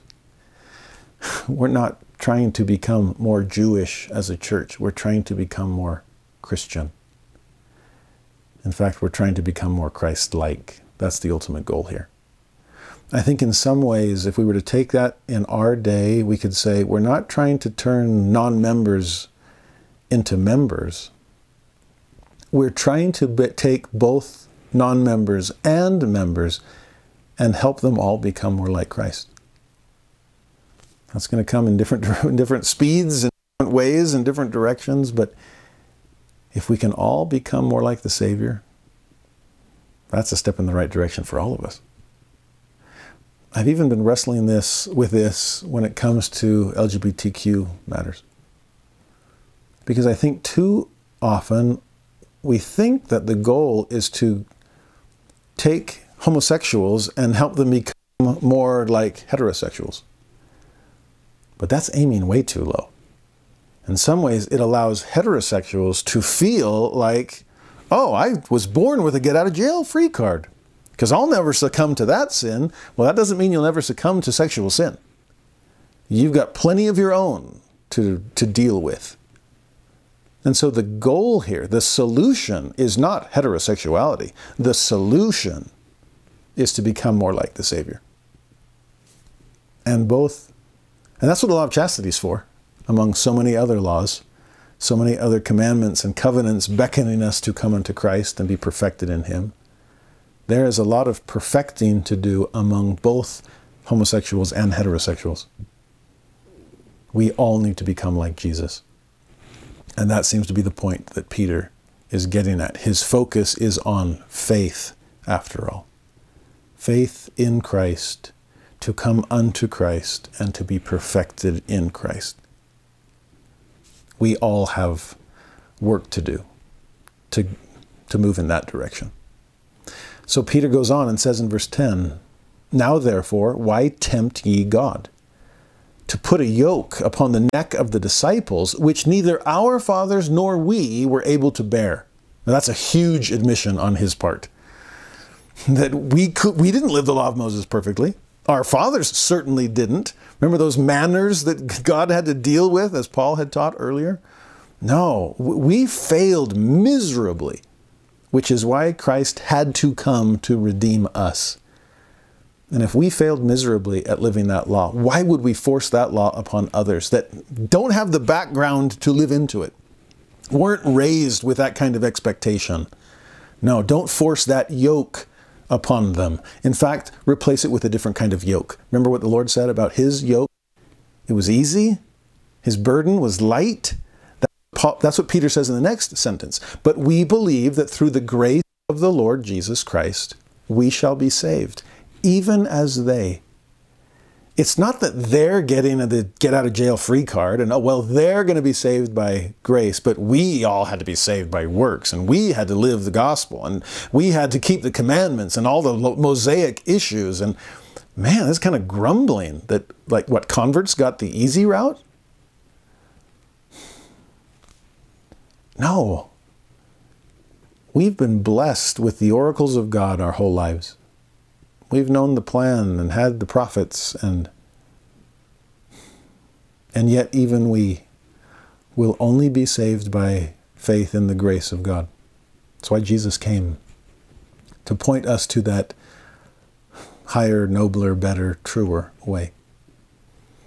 That's why his yoke was easy. He wasn't giving us get out of jail free. He was simply changing out a yoke we couldn't handle, one we chafed under, and giving us a new yoke. We're still in one, but Christ is our yoke partner. We've transferred our allegiance to Him. He's taken our sins upon Him. He still had to pay for them.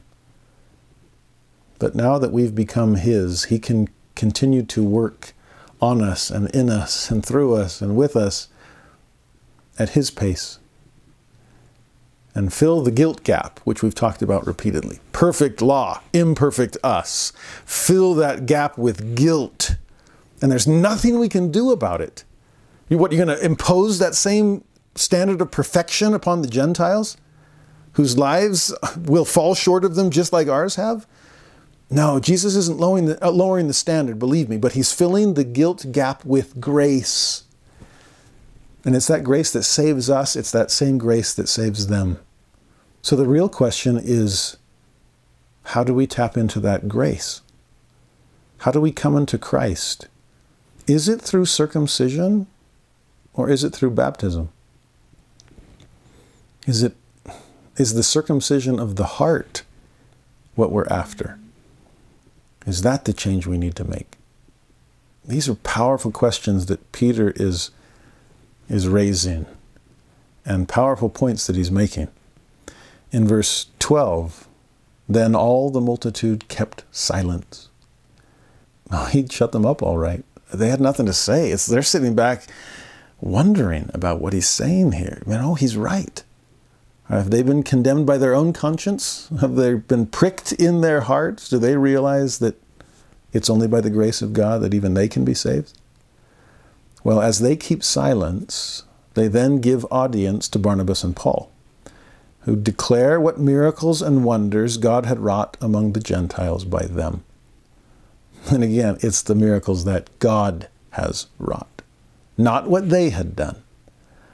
These additional witnesses have come to the stand to do as Peter had done, not to force their will upon the jury, but simply to bear witness of what they've seen God do during their ministries. Now, after their witness, verse 13, we see a new figure come to the witness stand. After they had held their peace, James answered. And yes, this is James, the brother of Jesus. James, who seems to lead the church there in Jerusalem. James, just a wonderful, wonderful soul who has changed so much in the course of his life, who understands his brother now in ways he never had during his half brother's life. James answers, and notice what he says Men and brethren, hearken unto me. Simeon, it's so interesting that he's talking about Peter here, but he calls him Simeon. He's reminding him and everyone else of Peter's humble roots, and in fact, of Peter's Jewish roots. Peter's name was Simon, but James doesn't even call him Simon. He calls him Simeon, as in one of the 12, 12, tribes of Israel. That's where Simon's name comes from.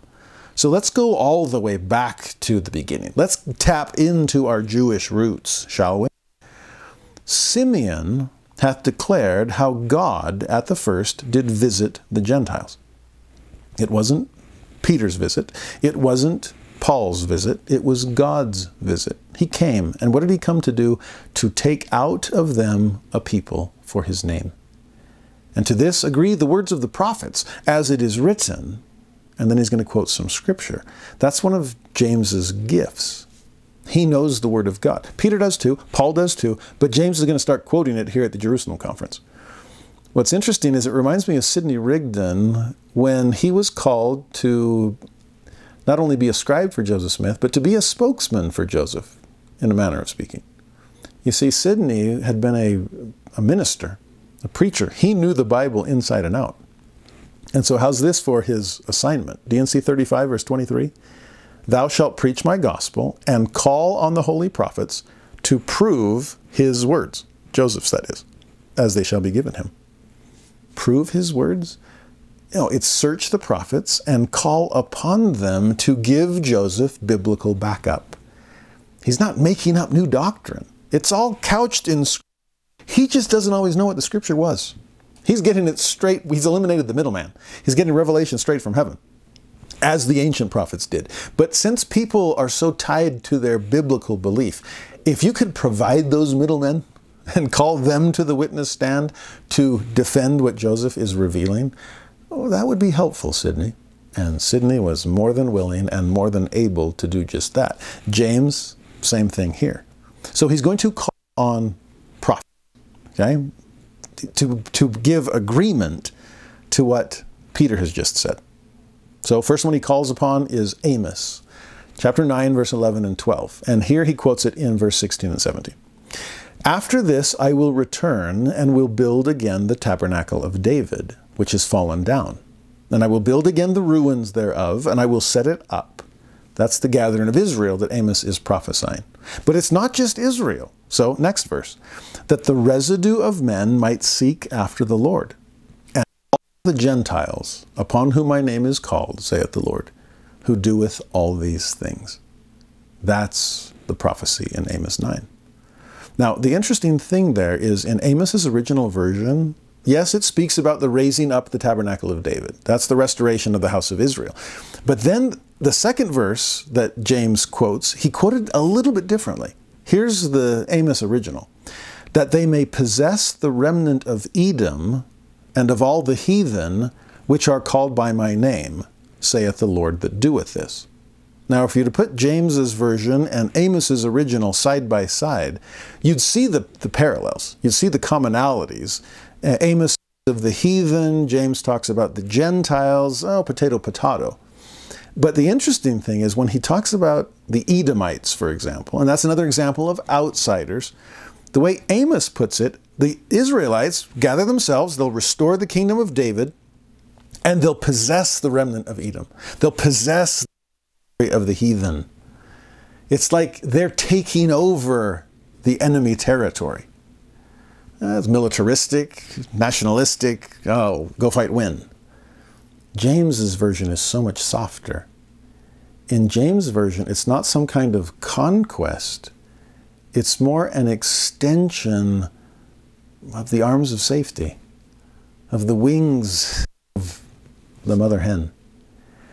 It's bringing them in. Now, either way, the two are becoming one.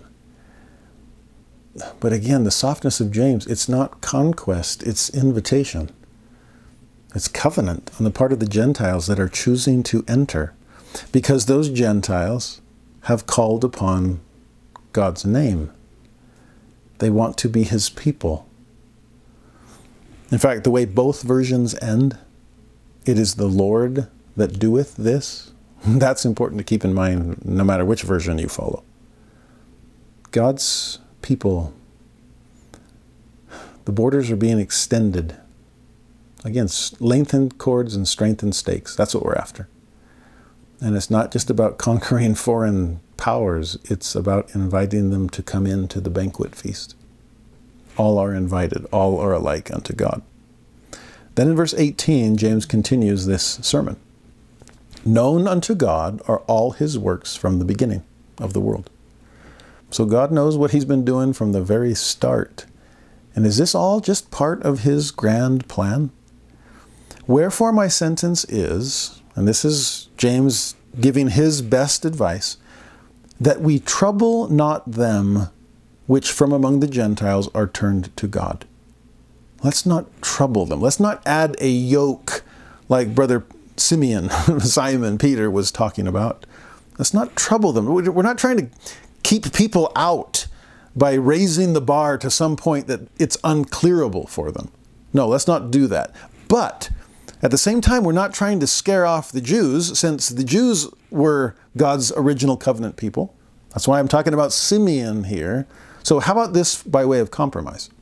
But that we write unto them that they abstain from pollutions of idols, and from fornication, and from things strangled, and from blood. For Moses of old time hath in every city them that preach him, being read in the synagogues every Sabbath day.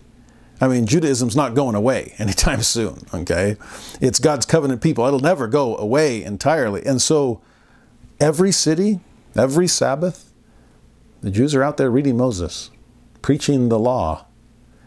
And if we have hope to if we hope to have any success among our fellow Israelites, we can't just pay lip service to the law of Moses. It came from God. So let's be as discerning as we can and determine what are the essential elements of the law of Moses that are that continue in the gospel of Christ. For example, the moral law, thou shalt not commit adultery, thou shalt not kill. Let's make sure we with that we restrain ourselves from fornication, from blood. Even some of the kosher laws, the, the strangling of animals and the blood that, uh, no, let's, let's not eat that. And pollutions of idols, all of idolatry. In some ways, this, this is Roman ritual practice. And among the Roman religion, there's going to be a lot of idolatry, and there's going to be a lot of oh, ritual immorality. And we've got to steer clear of that. We have to be different in the world, but not of it. And so, circumcision, no, the Abrahamic covenant will hold firm. But the token for entrance can be baptism as well as circumcision. really, even in circumcision, it was the circumcision of the heart that God was after. You just can't perform that surgery. That's something internal that we all need to work on. And it's the grace of God that, that accomplishes it for them as well as for us. So, how's that for a compromise? We will honor those things from Judaism that would probably be most offensive to Jews. We're not trying to flaunt our freedom in their face. No, his freedom is still structure, it's still discipline. That's what discipleship is. And so, no, we will maintain our discipline in these areas. How does that sound? Well, we're about to see. Will this compromise be acceptable to both sides of the issue? Uh, I, I love Venn diagrams where you have these circles that overlap. They suggest a part of the overlap is the place of, of shared belief it's a place where compromise comes easiest because we both share these values. When I've done interfaith work, as I train groups to be able to begin participating, I'll usually draw a Venn diagram on the board and say, if this side of the Latter day Saints and this side of the evangelicals, in your conversation with one another, try to get a sense of how much overlap you have. Uh, what things you share and what things you, you don't share, okay? But that's only the first step. A second step here is to determine your center of gravity and where on your Venn diagram are the things that matter most to you. Because you might have two people that are very different and only have a tiny sliver of overlap. But if within that sliver lie the things that matter most to them, then that's a match made in heaven. This applies to marriage, not just to interfaith work, by the way. On the other hand, you could have two people or two groups that almost completely overlap. They share so much. But if the things that matter most to them, the essentials rather than the incidentals of their identity, if those lie in the slivers on the edge where they don't see eye to eye, then that's cause for conflict, even though they have so much in common. They just agree on things that don't really matter that much to either one. So, in this compromise that James is suggesting, what's going to matter most to the Gentiles? Can they still come in to lay hold of the gospel of Christ? Without the yoke becoming so burdensome as to be unbearable. Meanwhile, to the Jews and the Judaizers, is there, are we showing sufficient loyalty to our Abrahamic past? To our Israelite roots, to Moses. After all, if Jesus was one like unto Moses, then far be it from Jesus to contradict Moses completely. Again, fulfill, not destroy. Are we fulfilling okay? If you ever have to compromise, and that's all of us all the time, then I would suggest that you not only find out what you feel and what the other person feels, but try to find out how deeply both parties feel about it. It's not just I want that and you want that, but how badly do we want those things? Give yourself a score.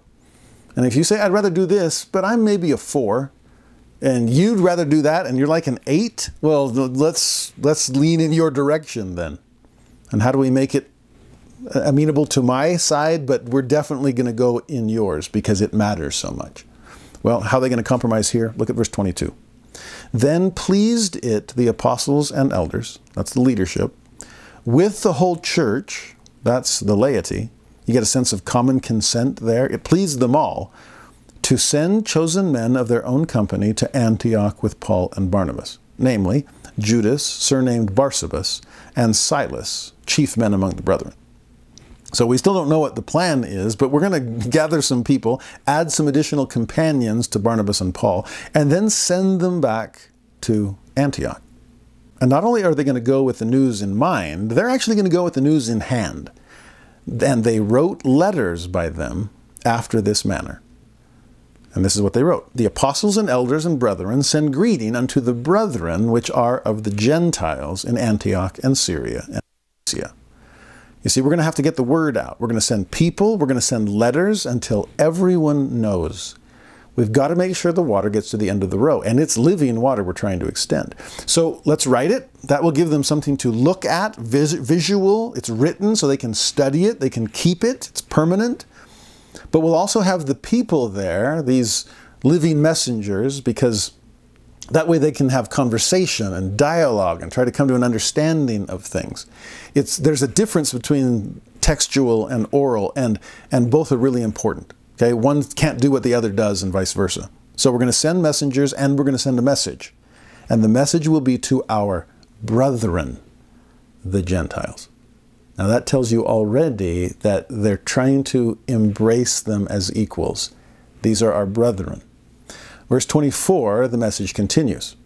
For as much as we have heard that certain which went out from us have troubled you with words, subverting your souls, other translations say, upsetting your minds.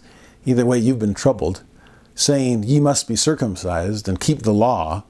I mean, I know that's the word that's gone out, and these Judaizers have been vocal, and now you're scared to death thinking, wait, that? We have to live the entire thing? We, we have to fully embrace Judaism on the way to Christianity? Well, this letter is going to clarify it. To whom we gave no such commandment. That is not what we decided. And this is coming from the living oracles. This is coming from Peter. It's coming from James. It's coming from Barnabas and Paul and now Silas and Barsabas and the leaders of the church in Jerusalem are making sure that everyone knows the decision that's been made. And here's how we made it. I love this phrase. It seemed good unto us, being assembled with one accord, there's that unity, to send chosen men unto you with our beloved Barnabas and Paul, men that have hazarded their lives for the name of our Lord Jesus Christ. I mean, how for serious credentials. These apostles will have legitimate street cred among that are being persecuted out on the outskirts as well. These men have been stoned for the word's sake. They would not back down. They believe to the point of of laying their lives on the altar. And so please trust what they say when they come. And their message is one of acceptance. You, you can trust these emissaries, these messengers. There's a great verse in Doctrine and Covenants 42 that I always go back to when somebody claims to have some kind of divine authority when they don't and these would be prophets that sometimes start up schismatic movements and try to draw away um, from among the most faithful among us. This verse of Doctrine and Covenants 42, verse 11. Again, I say unto you that it shall not be given to anyone to go forth to preach my gospel or to build up my church, except he be ordained by someone who has authority, and it is known to the church that he has authority and has been regularly ordained by the heads of the church. And that should lay to rest the lack of credentials of those would be prophets. Well, Barnabas and Paul have those credentials. They have the scars to prove it, but also the ordination behind them. So, verse 27 We have sent, therefore, Judas and Silas, new companions to the, the two that you've come to know and love who shall also tell you the same things by mouth. So, like I said, additional witnesses, written so you can study it, oral so you can discuss it and ask questions. And then my favorite phrase from the whole Jerusalem conference For it seemed good to the Holy Ghost and to us to lay upon you no greater burden than these necessary things. And then they list them that ye abstain from meats offered to idols, and from blood, and from things strangled, and from fornication. From which, if ye keep yourselves, ye shall do well. Fare ye well. And that's it. Keep it simple. Focus on the absolutely necessary things, the things that do the most good at helping us do well.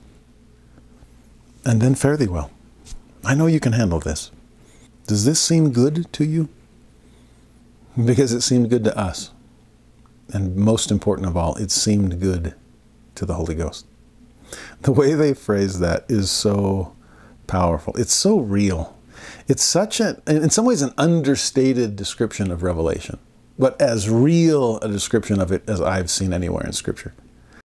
Too often we just picture, oh, the booming voice of God, and he comes down and descends and speaks face to face. He does that.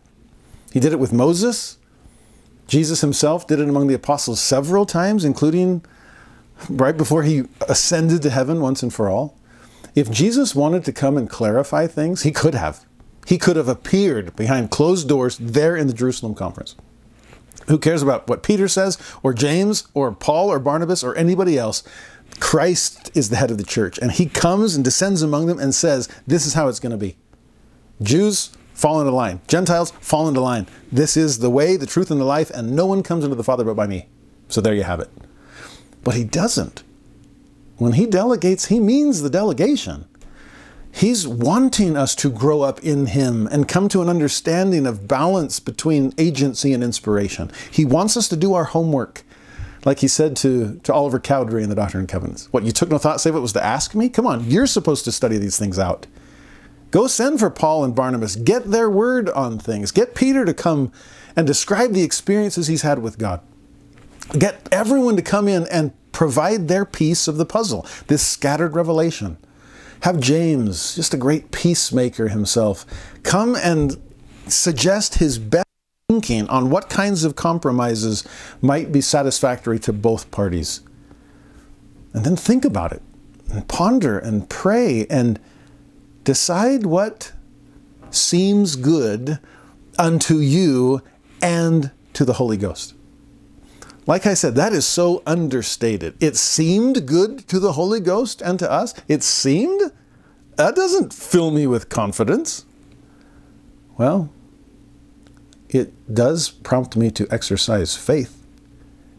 It does put the ball in my court to decide, well, I have access to that same Holy Ghost. And if I'm in tune with that same Spirit, and if it seemed good to the Spirit, and those who have paid an incredible price to be in tune with it, then I'll receive similar confirmation. I'll be able to know for myself. At least it'll seem good to me. There's, there's something about this. I, I don't know. I, I, I love it. I love the phrase it it's inspiring to me in its raw reality. I've heard Elder Eyring talk about how decisions are made among the First Presidency and the Quorum of the Twelve. We've heard President Nelson talk about that and the need for unanimity. It's that unanimity that will offset fallibility, as I often tell my students. It's them wrestling with, with the Lord trying to understand His will, and everyone giving their very best efforts at explaining their own experience, their own perceptions, and the kinds of puzzle pieces that have fallen to them. To them, for them collectively to come and to wrestle and to ask and to do more homework and to offer more prayers and take more time. It's often a slow process but for them to come to a unity of the faith until it seems good to them and to the Holy Ghost. I don't know a group of people with a higher caliber of conversation partners or a deeper degree of consecration to live their lives in such a way that they can be in tune with the Holy Ghost. I do sustain our living prophets and apostles with all my heart. I'm grateful for the price they pay to receive revelation. And whenever they have revealed it to me, it has seemed good. It has been necessary things that have helped me do well. Verse 30 So when they were dismissed, they came to Antioch, and when they had gathered the multitude together, they delivered the epistle, which when they had read, they rejoiced for the consolation. Interesting word there. Other translations for the exhortation, for the encouragement. The Greek word actually suggests more of the person to person nature of the message. It's actually the same root word as paraclete, which is that word we learned about the Holy Ghost, the word translated as comforter in the King James. So interesting, this rejoicing in that comforting word, that paracletes, that, that comforters have come. The Spirit's confirming, the apostles are coming to, to share this glorious news with us. This is, this is the unity of the faith that we're stepping into. And we're coming to know the Lord's will this way. And Judas and Silas, these junior companions, being prophets also themselves, exhorted the brethren with many words and confirmed them. That's why it wasn't enough just to have the message. They needed the messengers. There's something powerful about a personal visit that just leaves you feeling comforted, consoled, confirmed in the faith. When President Howard W. Hunter came to the MTC when I was a missionary there, having just become president of the church himself, and me, I loved President Benson. He was my prophet growing up. And President Hunter, I didn't really know. But I knew him after that one visit because the power of God, the Spirit of God, the Paraclete himself, came to confirm to me that I was in the presence of a true prophet. That's happened to me repeatedly as I have been in the presence of other prophets, seers, and revelators. There's something about being with them. My brother in law told me an ex- experience what he had when he was Elders Quorum president in Boston. Elder Holland came to Boston to speak to the young single adults. As Elders Quorum president, my brother in law just wanted every one of his elders to come and be in the presence of a prophet. And particularly one young man who had been inactive for a long time. He just pled and persuaded and eventually prevailed, and the young man came.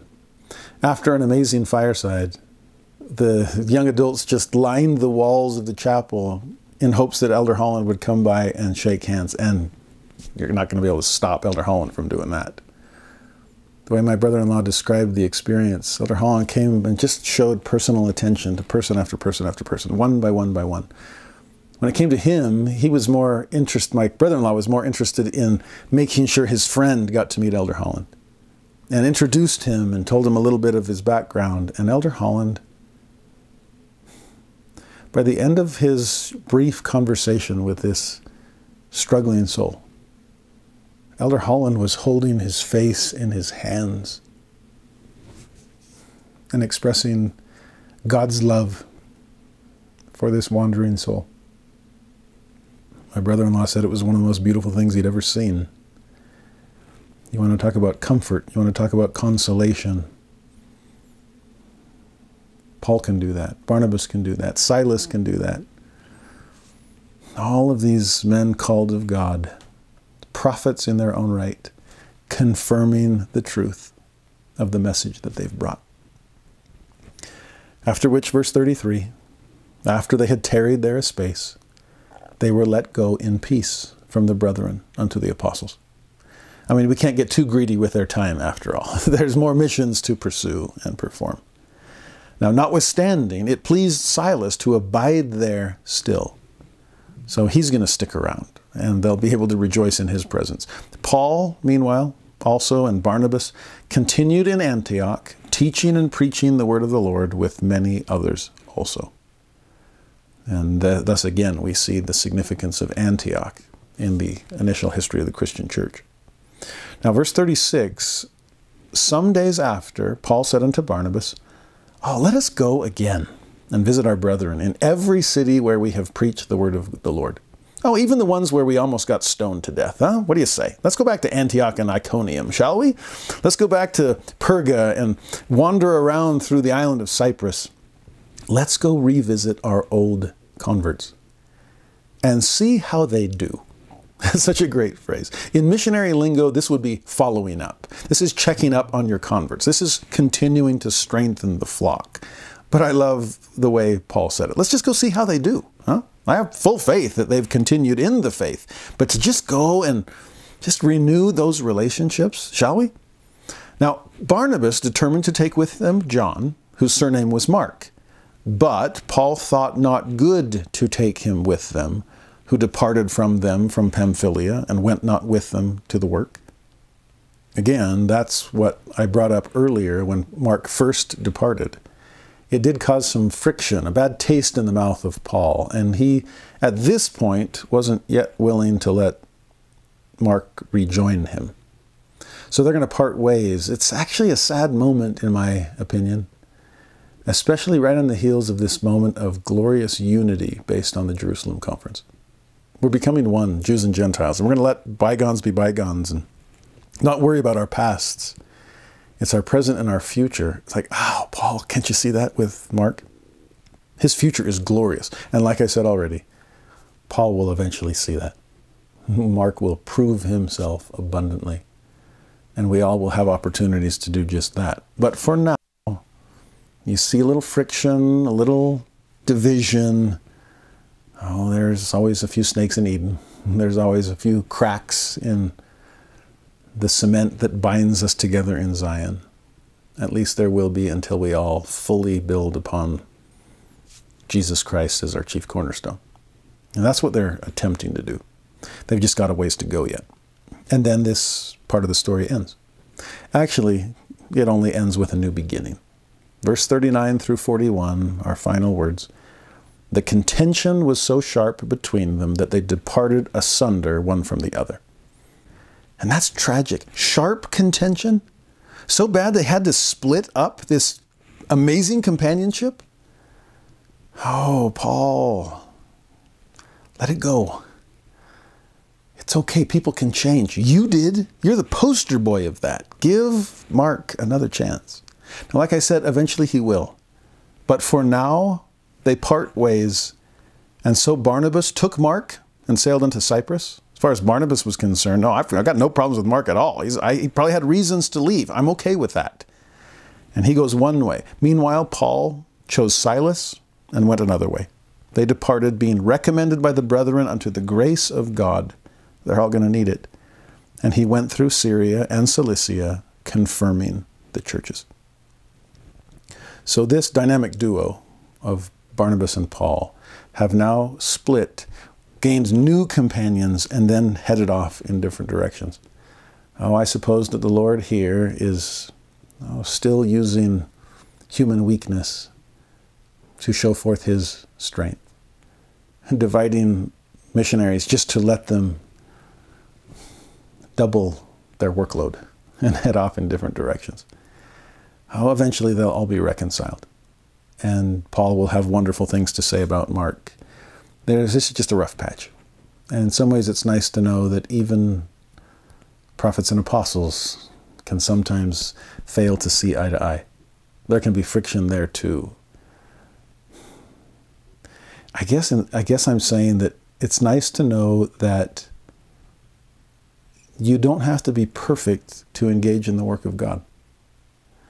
And that God will still call you to the work despite your imperfections the way that we see it here is just because you're on the Lord's errand doesn't make you perfect, because they weren't. But flip it around, just because you're not perfect, you're not disqualified from the Lord's errand. He just wants to keep working on you and working in you to make you more like Him.